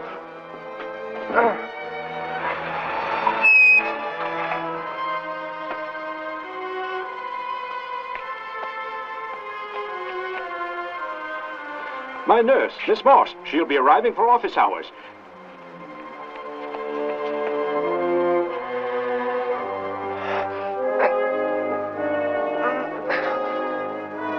Can hear you. I can hear you breathing. You, you cannot escape me.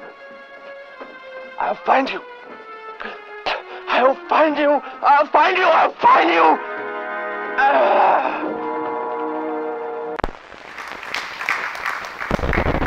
Look, Miss Mittens, I know we need more young women on the show to boost ratings, but this is the longest reel seven of Mr. Lobo's life.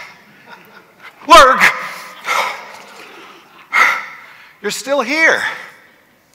I am a real human, and I will stay with you and the sad foliage that you choose to speak to.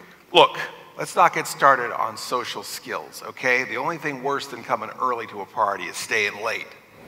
Oh. No, no, no. I, all right, I apologize. Mr. Lobo made a bad joke, all right? I'm sorry, all right? I, we'll, you can stay, all right? But we have to find something for you to do that's productive. I will be as productive as a good cough. So we need around here an expectorant. Can you toss to the break? Cinema Insomnia will be right back.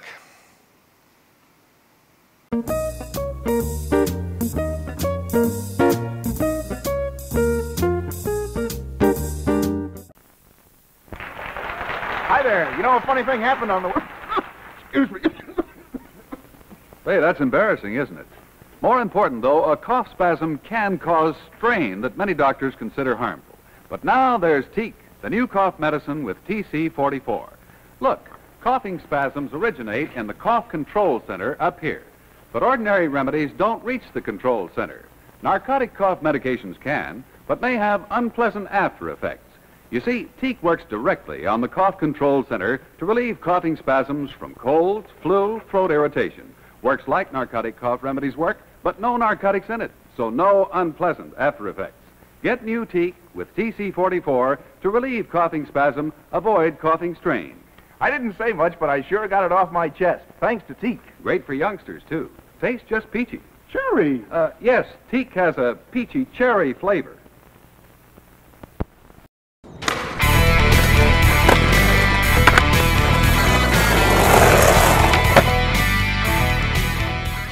Like you, I love to shred. But even a hardcore skate punk like myself eats it sometimes. I'm not like those other bougie lawyers. I'm on your side, fam. I'm Rad Abrams, skateboard attorney.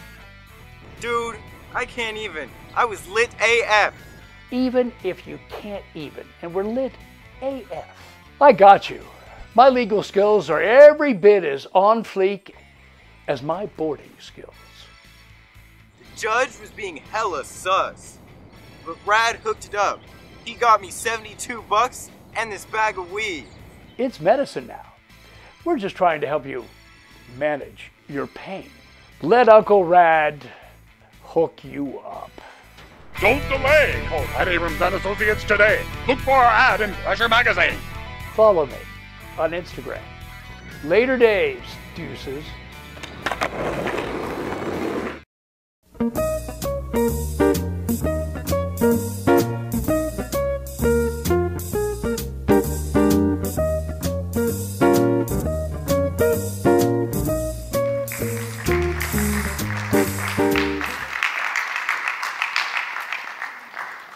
Now, Lurg, we're rolling the next reel of tonight's movie soon.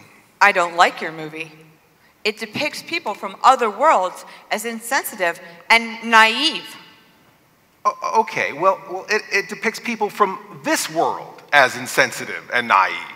I mean, this movie is totally 1959 as it wanted to see itself. A small town that's so live and let live that it doesn't really want to bother the nice kid with the ray gun. If this was remade today, there'd be 50s rock playing in every scene. The aliens would have crashed their UFO into Buddy Holly's plane, and they'd all end up in front of the House of Un American Activities. None of what you're saying makes any sense. Okay, all right, well, look, here's a special job for you. Look at this. You take this book, John Stanley's Creature Features Movie Guide, okay? And you hi- this is a highlighter pen, all right? That's the part that writes. Okay? And you highlight, okay, all of the films that the copyrights have expired on, all right? That way, it'll help us decide what movies we'll use in our, in our future programs. You understand? By your command. Uh, keep her busy. Mr. Lobo wishes he had something to do during the rest of tonight's movie. Oh well, let's return to reel eight of Teenagers from Outer Space.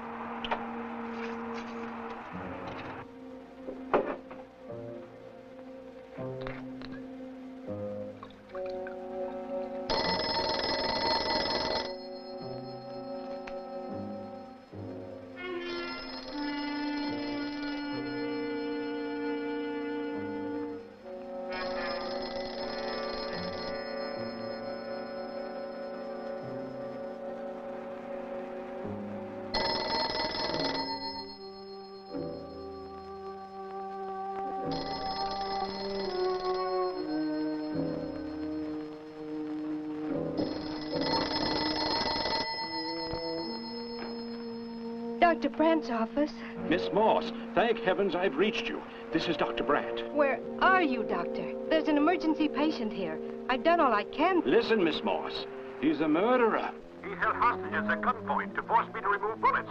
We were fortunate in escaping. You must get out of there. A murderer? We're sending the police, but if you treated him, he could revive at any moment. Y- y- yes, Doctor. Uh, I'll leave immediately. You will come with me. Put that down. Miss Moss, Miss Moss, what is it? It, I said. What do you want? You will help me to escape. Go out.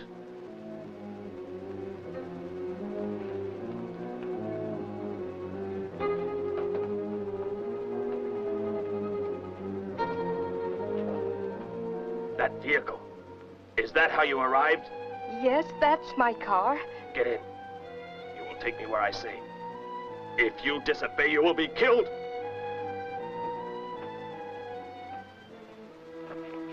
The police are on the way, Dr. Brandt. They. It's no use. I was too late. They're gone. Thor has escaped? But how could he? You said he would be helpless that... Without aid. But my nurse, she didn't know. She bandaged him, gave him an injection. He revived. Oh, no. We've got to tell the police. They might be able to do something. I'll tell them. I'll tell them what happened.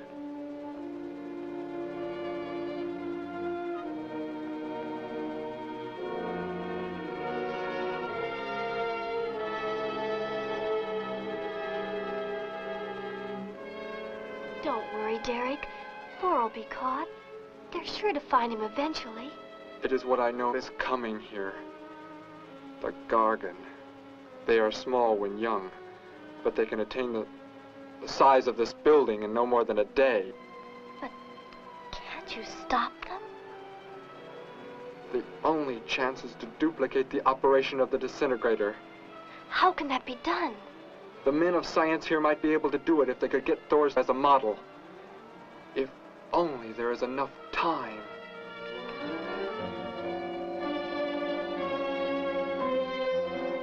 You know, I don't get this guy.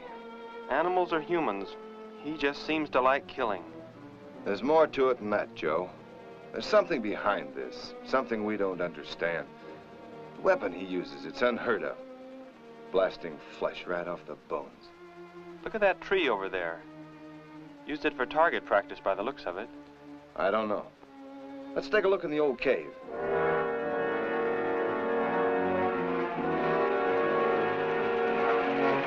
Where are we going? You've got to tell me.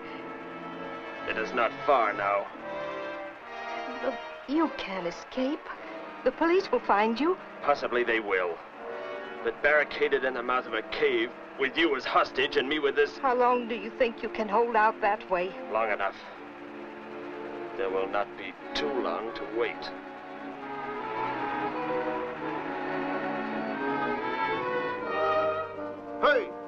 Bring your flash bulbs up here. This tunnel is black as pitch. Okay, I'll be right up.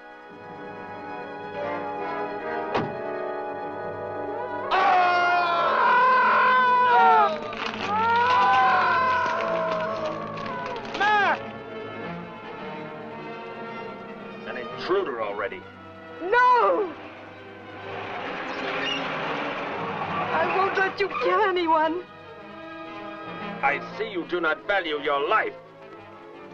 He's getting away. Follow him. No. Dare refuse? Ah.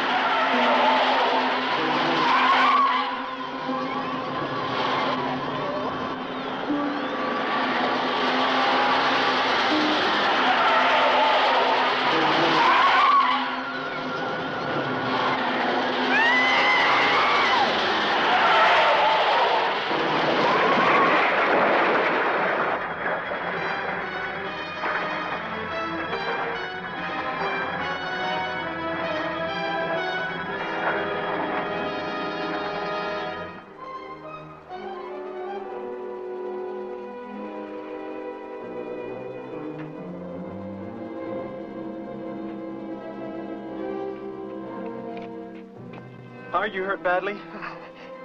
I don't think so. Just bruised. Oh, thank heavens it's over. It was like a nightmare. I, I wish it was over. Oh, what do you mean? Back in the cave where he shot at me.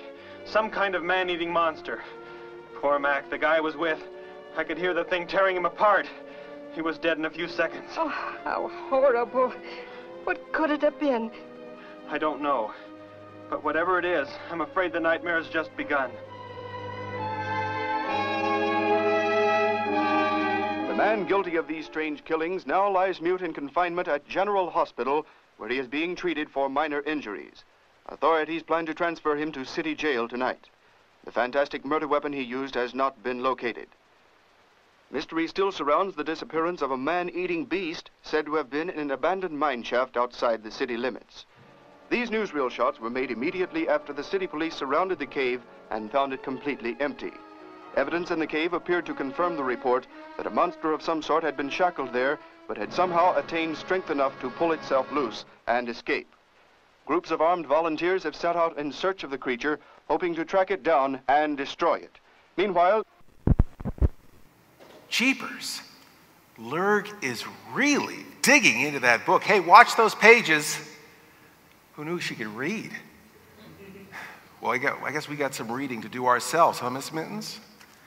Now it's time for another Insomniac mail sack. Now, this is a, they're always real letters, but this is a real letter that I, I printed off the internet, which I thought uh, gave a little insight to some of our viewers.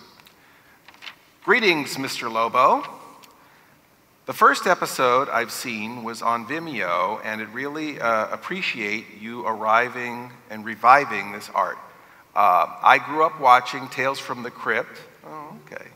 And always been into B, bad B movie scene growing up.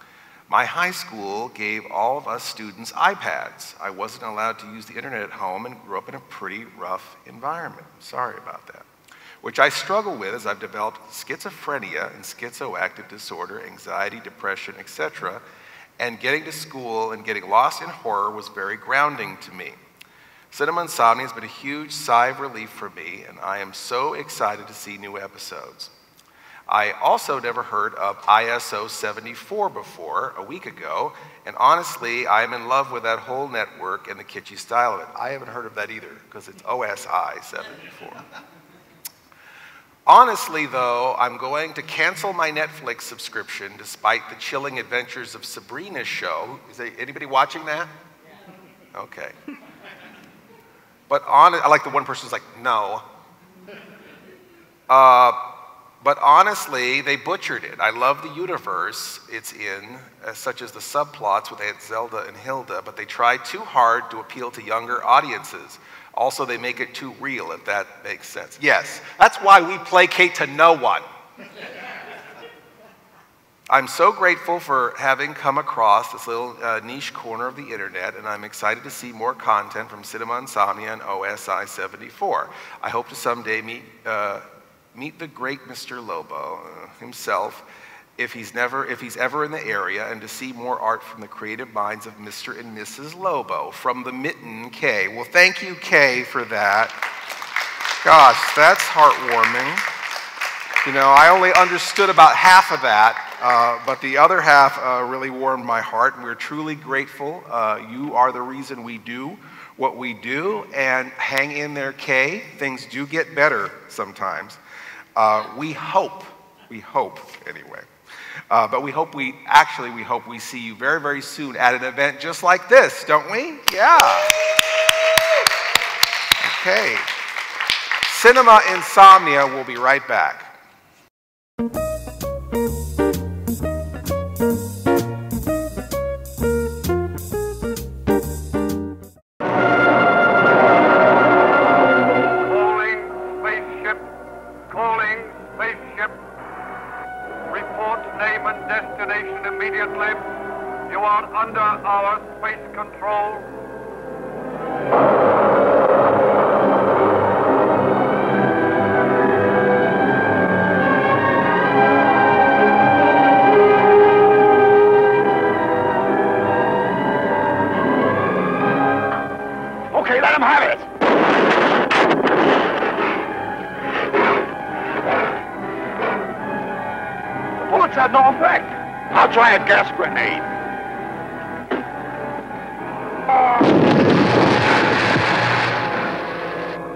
On the 13th moon of the planet Saturn are atomic forces that control the tides of all earthly desire. Within the moon's temple of love dwell the fire maidens of outer space, dedicated to the purpose of creating a new race of supermen and holding captive all who fall under their spell. By the Lord of Atlantis, I am yours. But theirs is a moon-mad evil love that makes victims of their own kind and puts them to the fearful ordeal by fire.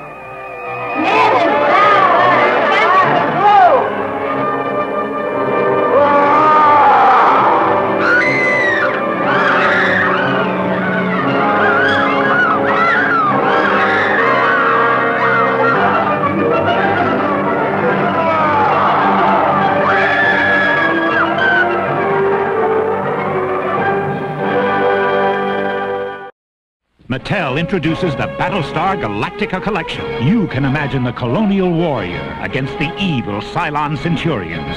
Cylon Centurions ready? Check. Activate eye scanner. Energize pulsator. Aim laser pistol. On target.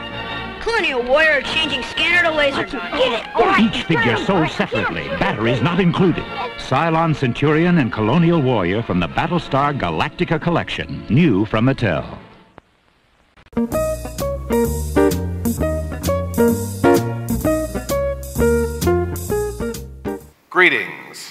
Lovers. Let's talk about the sounds from tonight's movie. Okay, Mr. Lobo has the soundtrack right here. Low cost, needle drop favorites from the High Q Capitol Records Library for your film or other generic project. This is actually the soundtrack for many misunderstood films. Orchestras, I'm told, are expensive. And to cut costs, the score in tonight's film is actually stock library music composed by musicians like William Loose and Fred Steiner, who did tons of TV work, Star Trek, Rocky and Bullwinkle, and the same cuts you just heard over and over again in different projects, basically creating the Wilhelm scream of movie music. Okay, let's just let's give a listen, shall we? Let's put it on there like this.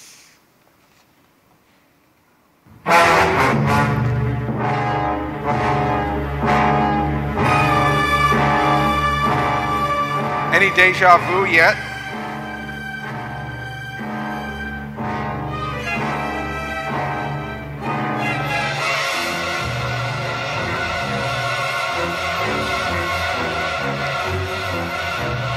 Night of the Living Dead.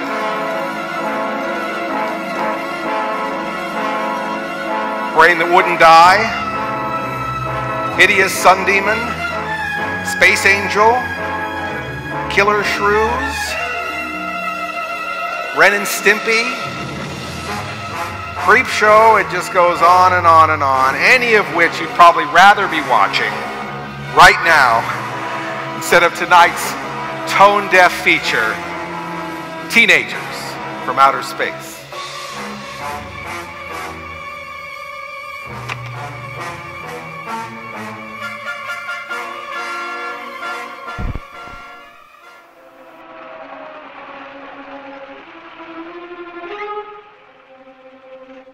Crashed just below here.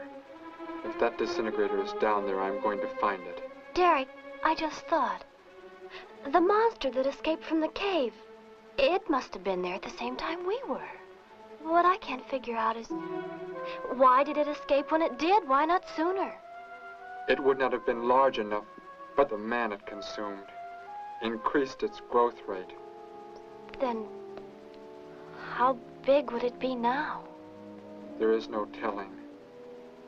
You stay here. Keep the door closed.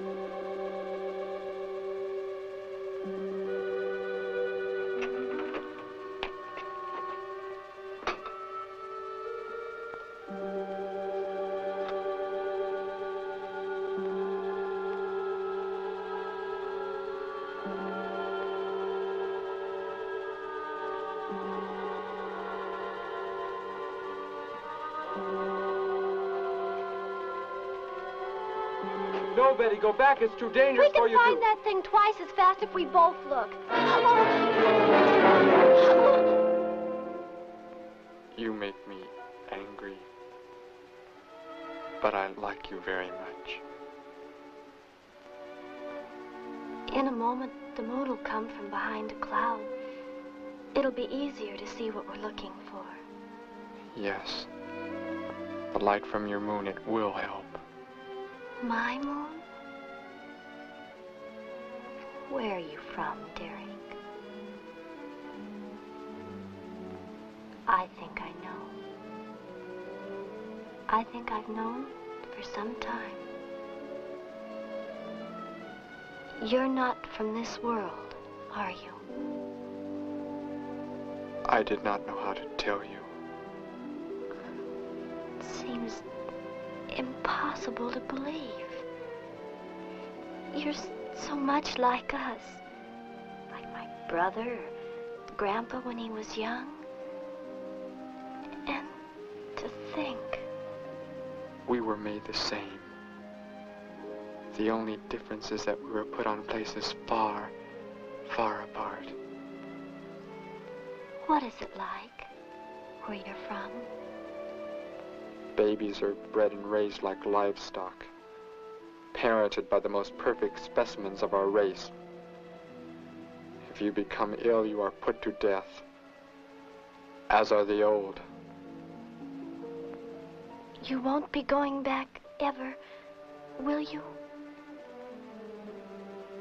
I shall make the earth my home, and I shall never, never leave it.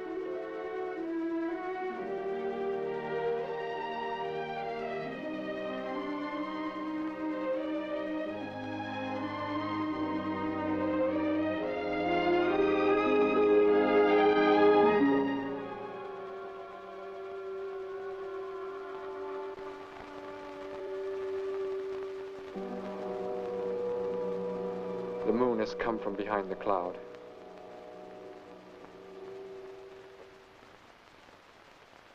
Derek. The crickets. It's so quiet. The Gargon, get back!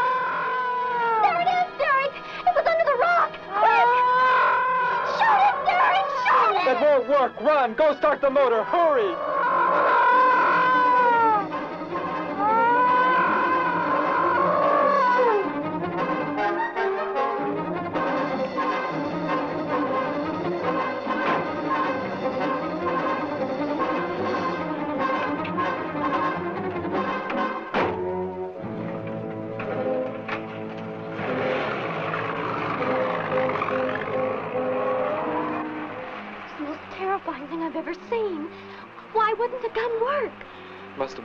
Somehow when Thor was thrown in the crash. You said that that thing would keep growing. If it does, what can stop it from wrecking the city? And I may be able to repair the damaged part of the disintegrator. If I can, we will stop the Gargon and give the Earth a weapon against invasion as well. If only I can get it to work.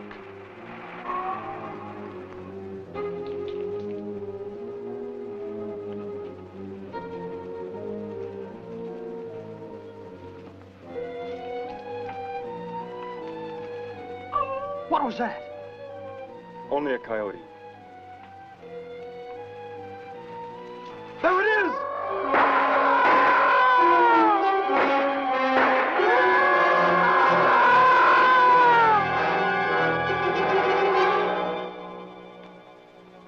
Grandpa was so exhausted he fell sound asleep with all his clothes on.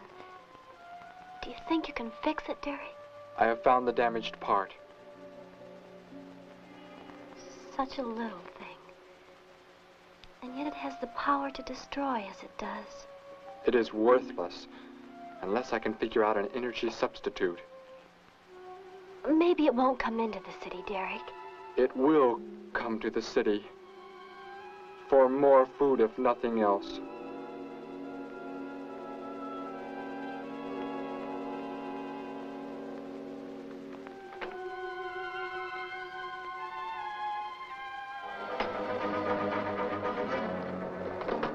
At Station 86. Out by the hills, due northeast. There's some kind of a monster. It suddenly bobbed up and seemed to touch the sky.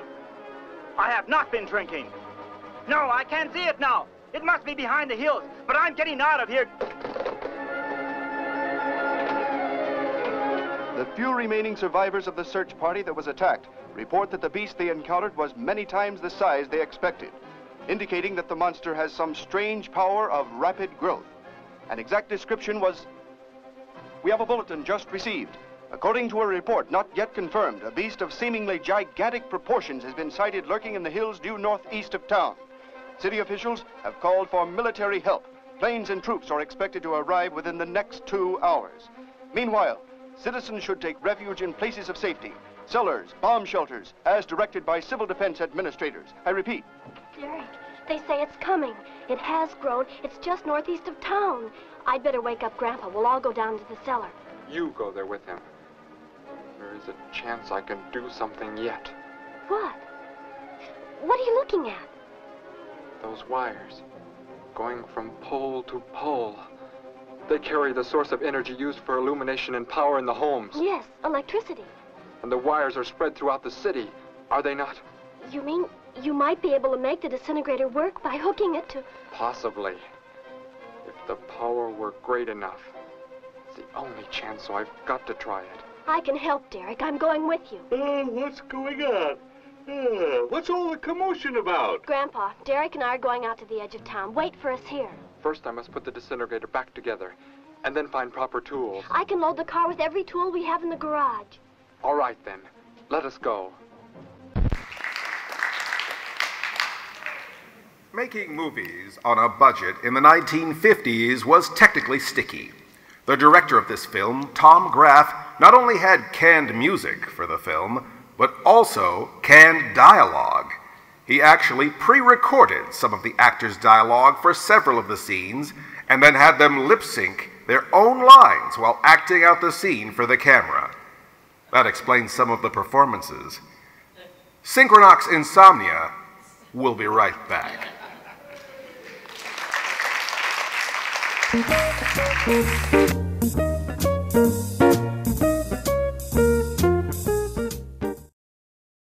held our entire world hostage with his music. Frank Tail Records presents the one, the only, Ambassador Phantom on one long playing album, Candles, Crankhorn, and You. Oh yeah, come on over here. On Planet Crankhorn, he sold more records than ah, Perry Como, Boxcar Willie, Jerry Vale, Red Sovine, Slim Whitman, and Zamfir combined. Unforgettable. Finally, through this exclusive TV offer, Lost Youth can once again be yours on LP, 8-track tape, or Cosmic Spool for only nine payments of $9.99 plus $99 shipping and handling. Caustic vapors. Keep blowing in. And if you order now, we'll send you this free bonus disc. Ambassador Phantom of Crankhorn narrates Peter and the Wolf. Peter looked up and shouted, Where is that miserable scum? I'll make mincemeat out of him. Hurry, operators are standing by. Order candles, Crankhorn, and you today, or We're gonna kill some children.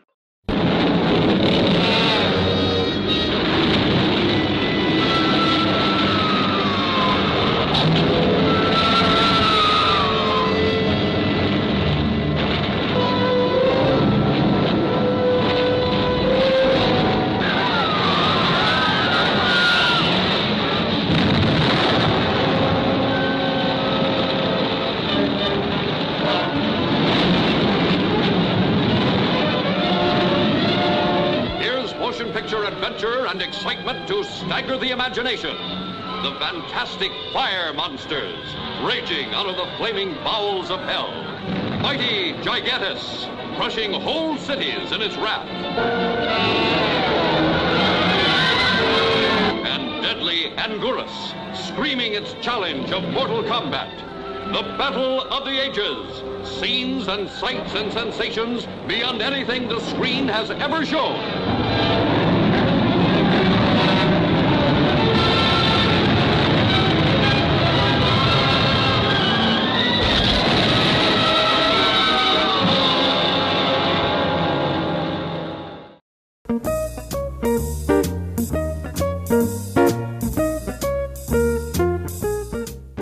Ladies and gentlemen, the Queen of Trash. Back by popular demand. So we have a little uh, segment that we like to call Project Landing Strip, where we're going to need. It was named after me. Yeah. no comment. But we're going to have we're to pick out a couple of, of, of two sets of two. Two teams of two. Of the audience. Now, we, we have uh, some clothing here that you have to work with. We want your- it to be as sizest as possible. for- so I think that there, I think one is kind of, uh, I would say one is maybe a medium, and the Yeah, other one is maybe like an extra large. So whoever's in your team, make sure that one of you could fit in something that is that sort of size, if that makes sense. And I guess if you're smaller, you could just be swimming in the extra large one. But that does need to be incorporated into your design to win. in- in- incorporated into your design. So we definitely need two teams of two people. Uh, so we have, we have any, anyone here who is uh, wants to participate in our little game? Because we're just going to grab people. Okay, need- yes, you That's, right that's there. the one person. We need a team. Yes, okay. And I will person. start just grabbing people. Yes. We'll select our people and then we'll start the segment. All right, you guys. Go ahead and come on upstairs. Wait, do we have? Let me see here. We've got, what do we have here? We have one person so far. Okay, and who All else? right. You guys want to go, and I'm assuming you guys are mediums. Uh, let's see here. Anybody else? Mediums for the XL. Come on. You, Okay, all right. We got a kid? all right, there we go. I got you a partner. Then it looks like I thought he was a team. he coming I got you here? a partner. Okay, hello. Hi. now I need an? XL. All right, so we You have. XL? I guess we got we got one team here. You're busty. You can make it work. All right, so we guess we got one team here. We're Believe me, girl. I know work. it. I know it. You gonna help her? Uh, what the hell, man? Look at that woman. Somebody help this busty woman. Okay, we need one more person who will volunteer here to be part of our stage routine. I feel like we need one creative person, a hero. Yes, we have a creative person in the audience. Dixie's gonna do it, ladies and gentlemen. Oh, Joseph? Oh, there we go. All right, so we have one more person here, Dixie. Come on up, Dixie. Big hand for Dixie, ladies and gentlemen. A hero. Coming to the rescue. All right. Oh, wonderful.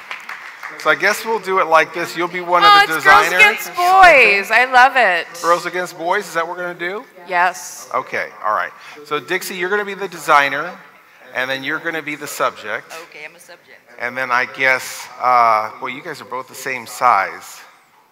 So they can fight it out. They can fight it out, I guess, amongst yourself. Who's going to be the designer? Probably you're going to be the designer, and you could be the sub. You be the, the model? Is that okay? Okay. All right. We'll do it like that. All right. So let's let's. Uh, why don't we all stand at this green line here, facing the audience, and I'll introduce our bit. You ready? It's a what? Small and a large. Okay. You think that's too? We'll find out. We'll find out if it works. Okay, well, we'll get creative. Okay, here we go.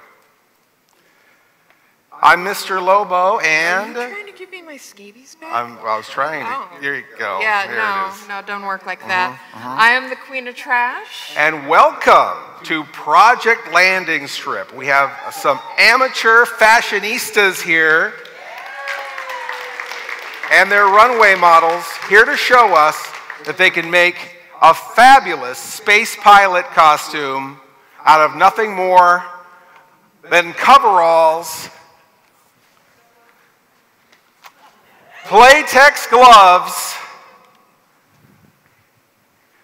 and a whole lot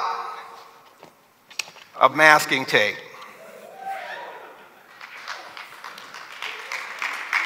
Big hand for masking tape, not sponsored. So uh, we have you going to be one of our. You're going to be our designer, right? Okay. And your name is Jeff. Jeff. And you're going to be our model, and your name is Dan. Dan. Okay. And you're going to be our model, and your name is Renee. Renee. And you're going to be our designer, and your name is Dixie. All right. There we go. Big hand for all our contestants. I'm going to call these the uh, Quiet Wolverines and the Fighting Beavers. is the team names. All right, designers, you will be actually getting your costumes ready. Those are your materials there. Don't start yet, okay? Don't start yet. Okay, and it's going to be happening while the movie's going on. So you have seven minutes to come up with a fabulous design, all right? While they're getting their models on fleek, why don't we jump back into tonight's movie, Teenagers from Outer Space? This is full contact, by the way.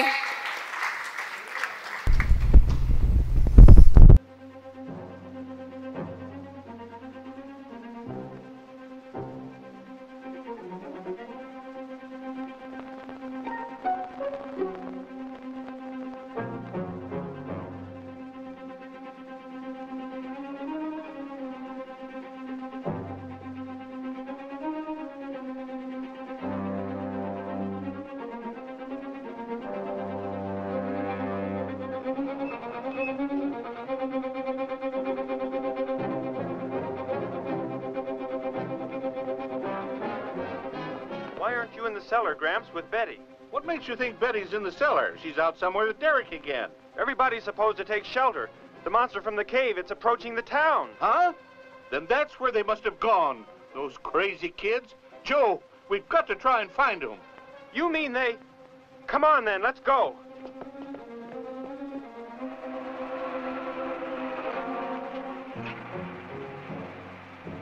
Derek, look.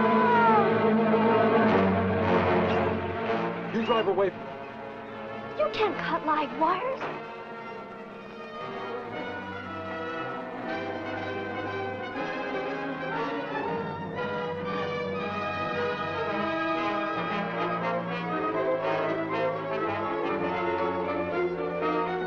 Operator, this is an emergency.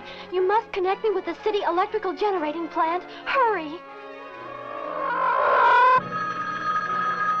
Generating plant. Hello? Please listen to me. You must do as I say. The monster is coming towards the town. I'm at North Ridge Road. We have a weapon here that might be able to stop it if we can connect it to the power lines. Who is this? I'll have to check with. You have to believe me. There's no time to check with anybody.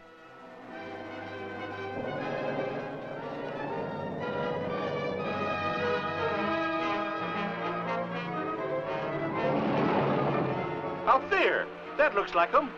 Derek is climbing down a pole. And look what's coming. We're not going to make it in time.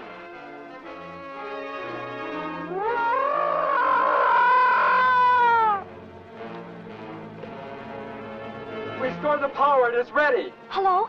Turn the power back on. Okay.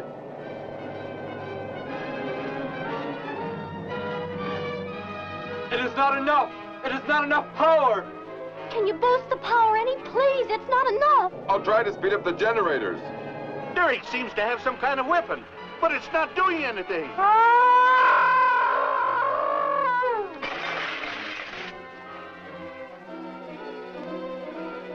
If only there were more power, Betty. Is there any way to generate more power? We've got to have more. I can join in more circuits, but it may blow off the line. Try anything. It's our only chance.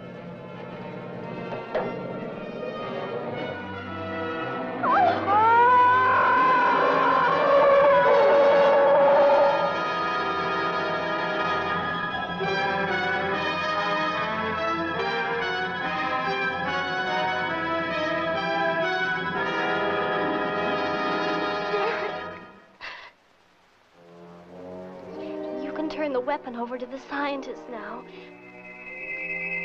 It is too late. You mean they're coming? Already? Your people are here for you. I must leave. They will take care of you. But Derek, you promised. You said... I know what I must do. You must not interfere.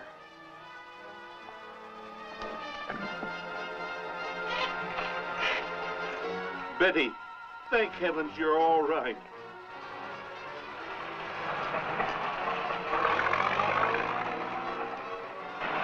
Has indeed made you forget many things.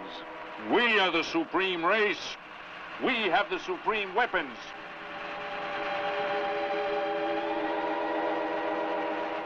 Somehow I feel that I've always known you, that we've never been apart.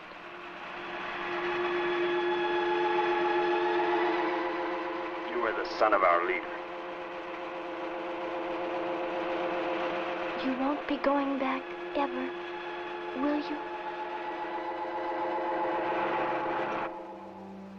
How did he get a weapon like that? It makes me think of what the killer used.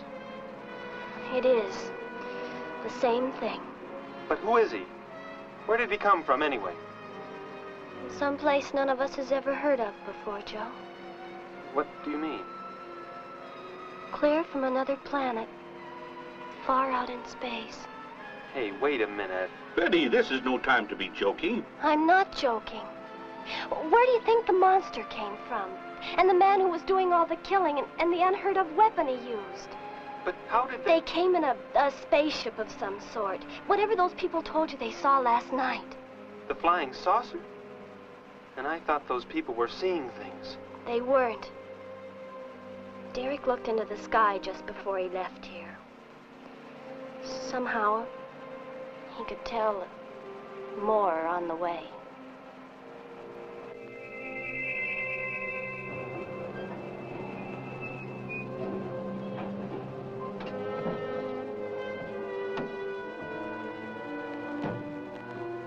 He must be in the house. There's our car. Oh, Derek!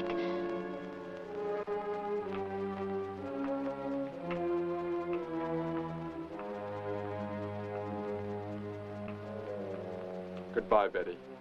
No, Derek, no. You are Joe.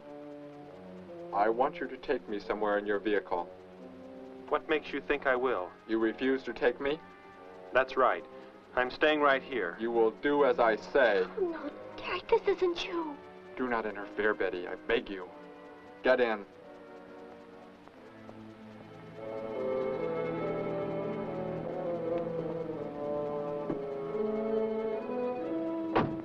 Take me to where they are keeping the prisoner. The killer? He's at General Hospital, but... Then take me there. Joe, don't the disintegrator, it won't... Betty! Trust me, Betty. Trust me.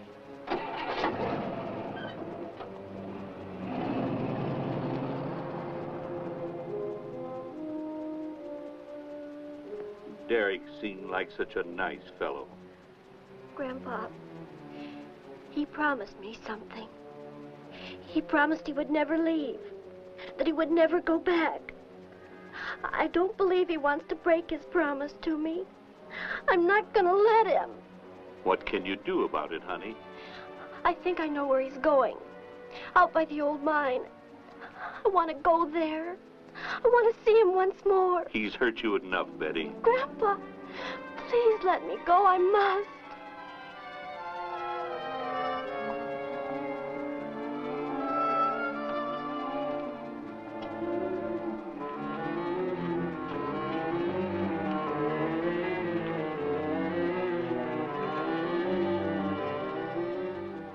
Prisoner is in this building.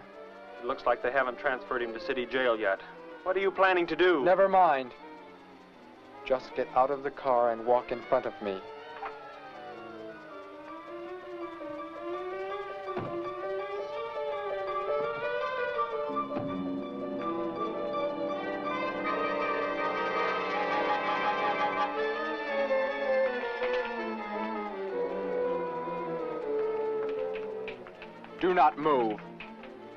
I will take the prisoner.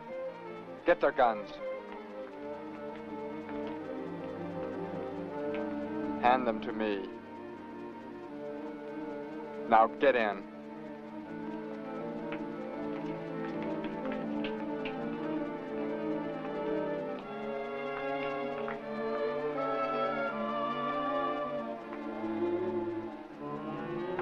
You face the wall. Keep your hands above your heads. I was stupid, Thor. Very stupid. But that is over. We are returning to meet the ships. Together. Why do you let them live? Kill them! There is no need. They will be dead soon enough, along with everything else on this planet. Go!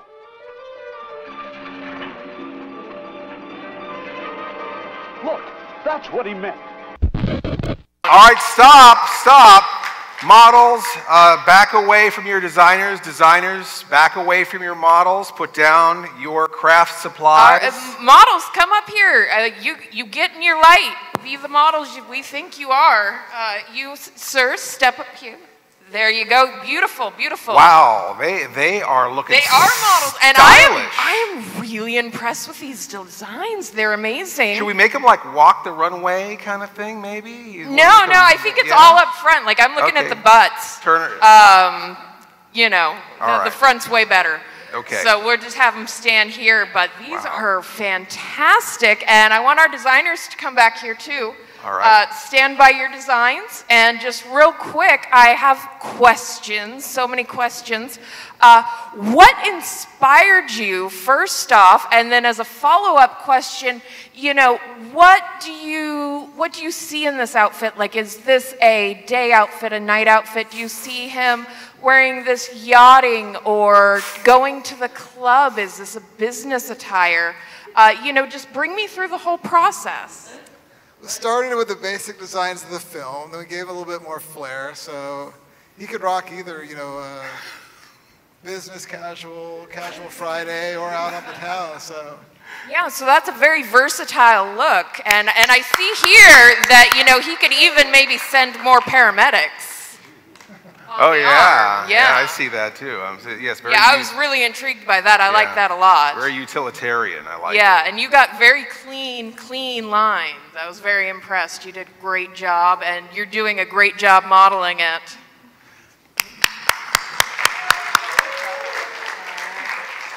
Now, Dixie, uh, same for you. You know, what was your inspirations and what is this look? Where do you see it being worn? Like, how versatile is this? Is this something that you would wear in the boardroom? Is this something you would wear in the club? Is this something you would wear, you know, uh, out to dinner, grocery shopping? A um, disco, maybe.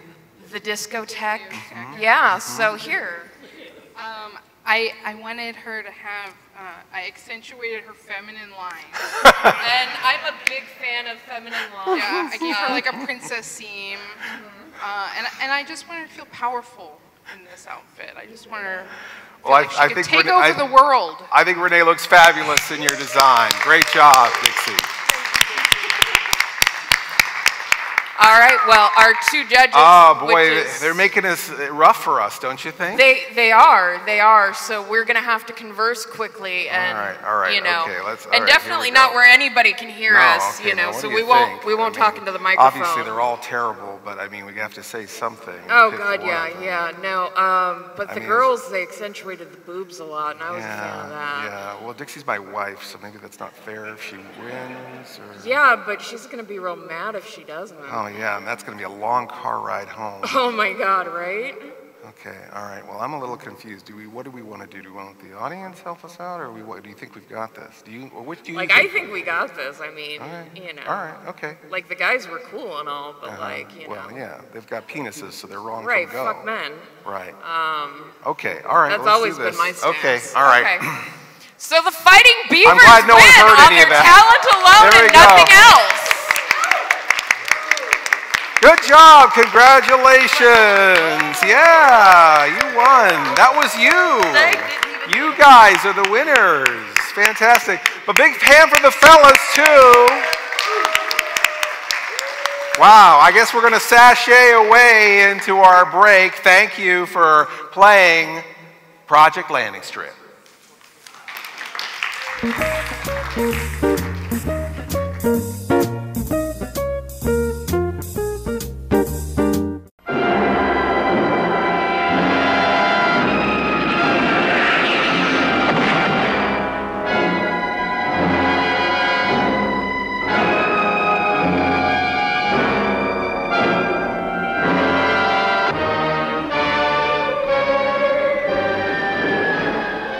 Yes, it came from outer space to fill the world with terror, to bring you unforgettable suspense. What was it? Where did it come from? Who were the all-powerful creatures it brought from outer space?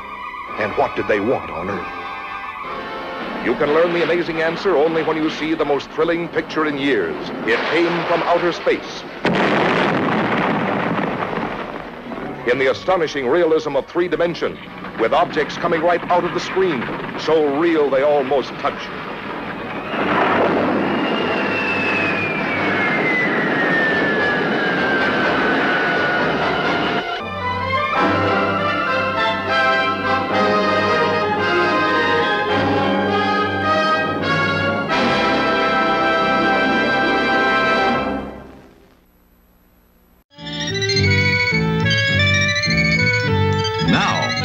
Frigidaire's galaxy of 1966 space age refrigerators comes the Frigidaire Star of Best Buys, an unbeatable buy with a bonus, but available for a limited time only. Why unbeatable? Watch. It's a big 16.3 cubic foot model, powered by the new Power Capsule, space age successor to the old fashioned compressor.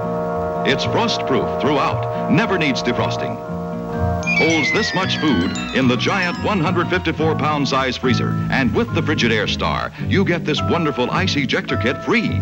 Put a tray on, flip the handle, presto, ice. What a work saver. The ice ejector with two trays is yours absolutely free if you buy this refrigerator now. Don't miss out on the Star of Best Buys event.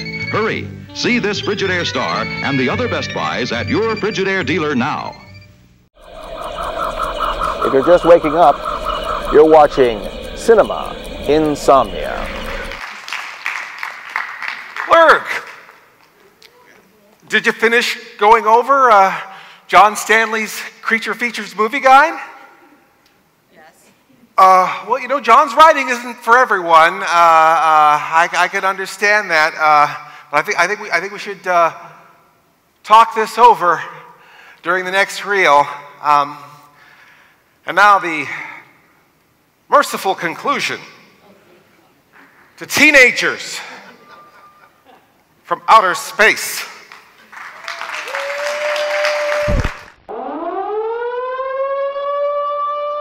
Ships of an alien source are approaching from the sky. Radio contact has been attempted but cannot be established. Instructions are to prepare for an attack by an unknown enemy.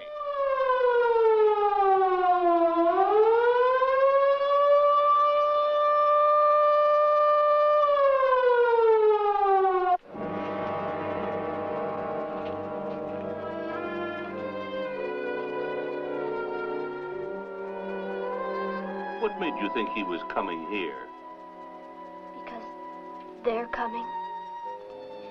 He Told me they'd be coming. Told me he wouldn't go back with them. That he'd stay. That he wanted to stay. Betty, let me take you back home. No, Grandpa, look, here comes Joe's car.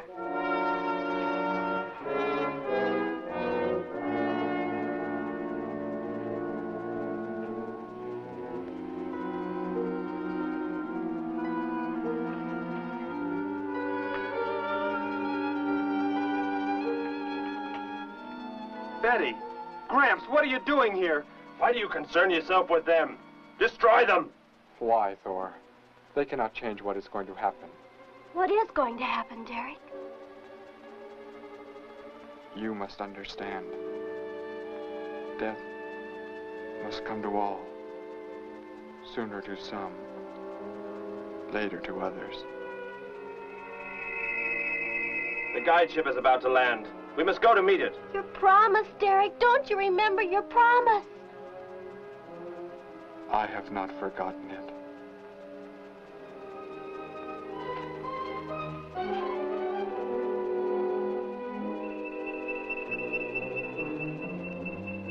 He called that the guide ship.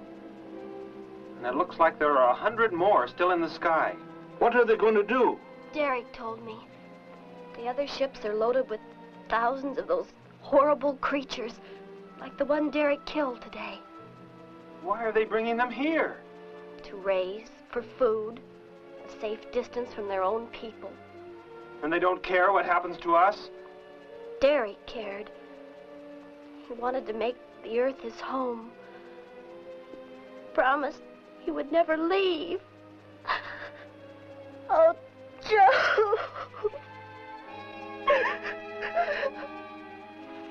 I would have used the disintegrator on them, but it will not function without energy supply. It was damaged when you crashed. I had to bluff with it.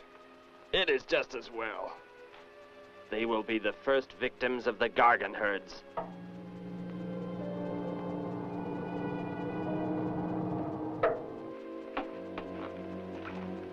So, you were able to bring him back, Thor. He brought me. I am sorry I acted the way I did. I am ready to take my punishment. There will be no punishment, my son.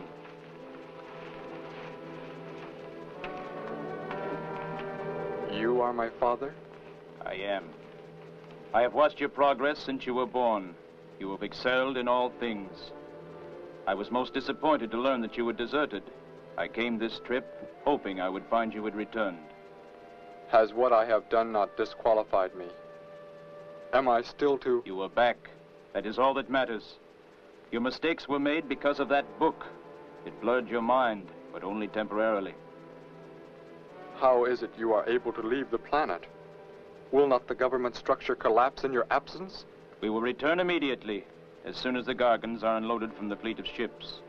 The people are unaware that I am gone. Yes, we must leave quickly.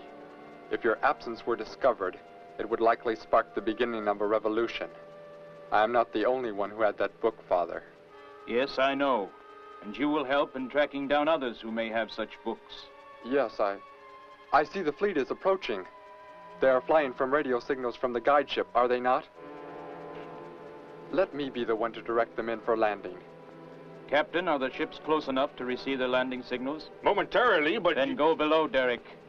You will bring them in.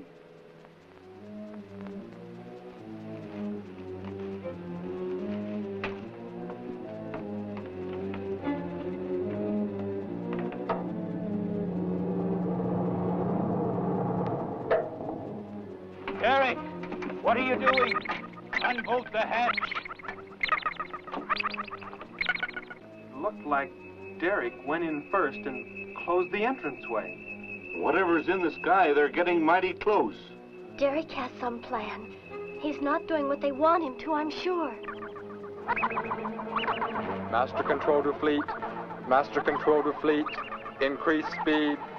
Set flight pattern to minus point zero eight. Increase speed. Open this hatch at once. The ships seem to be converging and increasing their speed. They cannot land. He does not plan to have them land, but crash! They're coming right at us! Derek's doing it. That's what he planned. But he's inside there. He'll be killed too. Get down inside the cave. My son, think, think of what you are doing. Turn the ships around before it is too late. Hold course steady.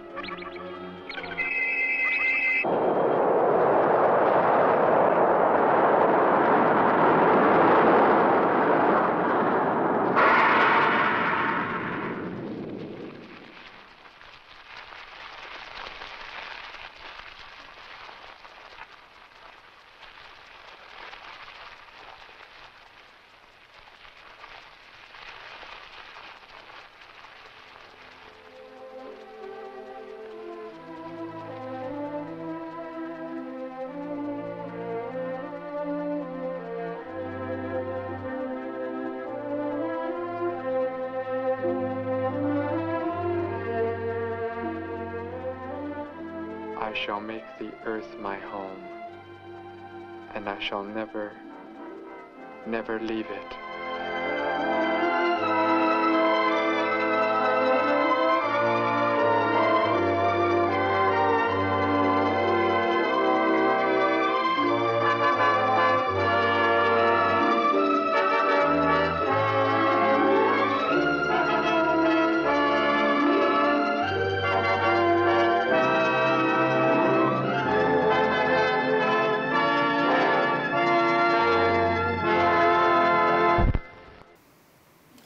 Standing here a long time.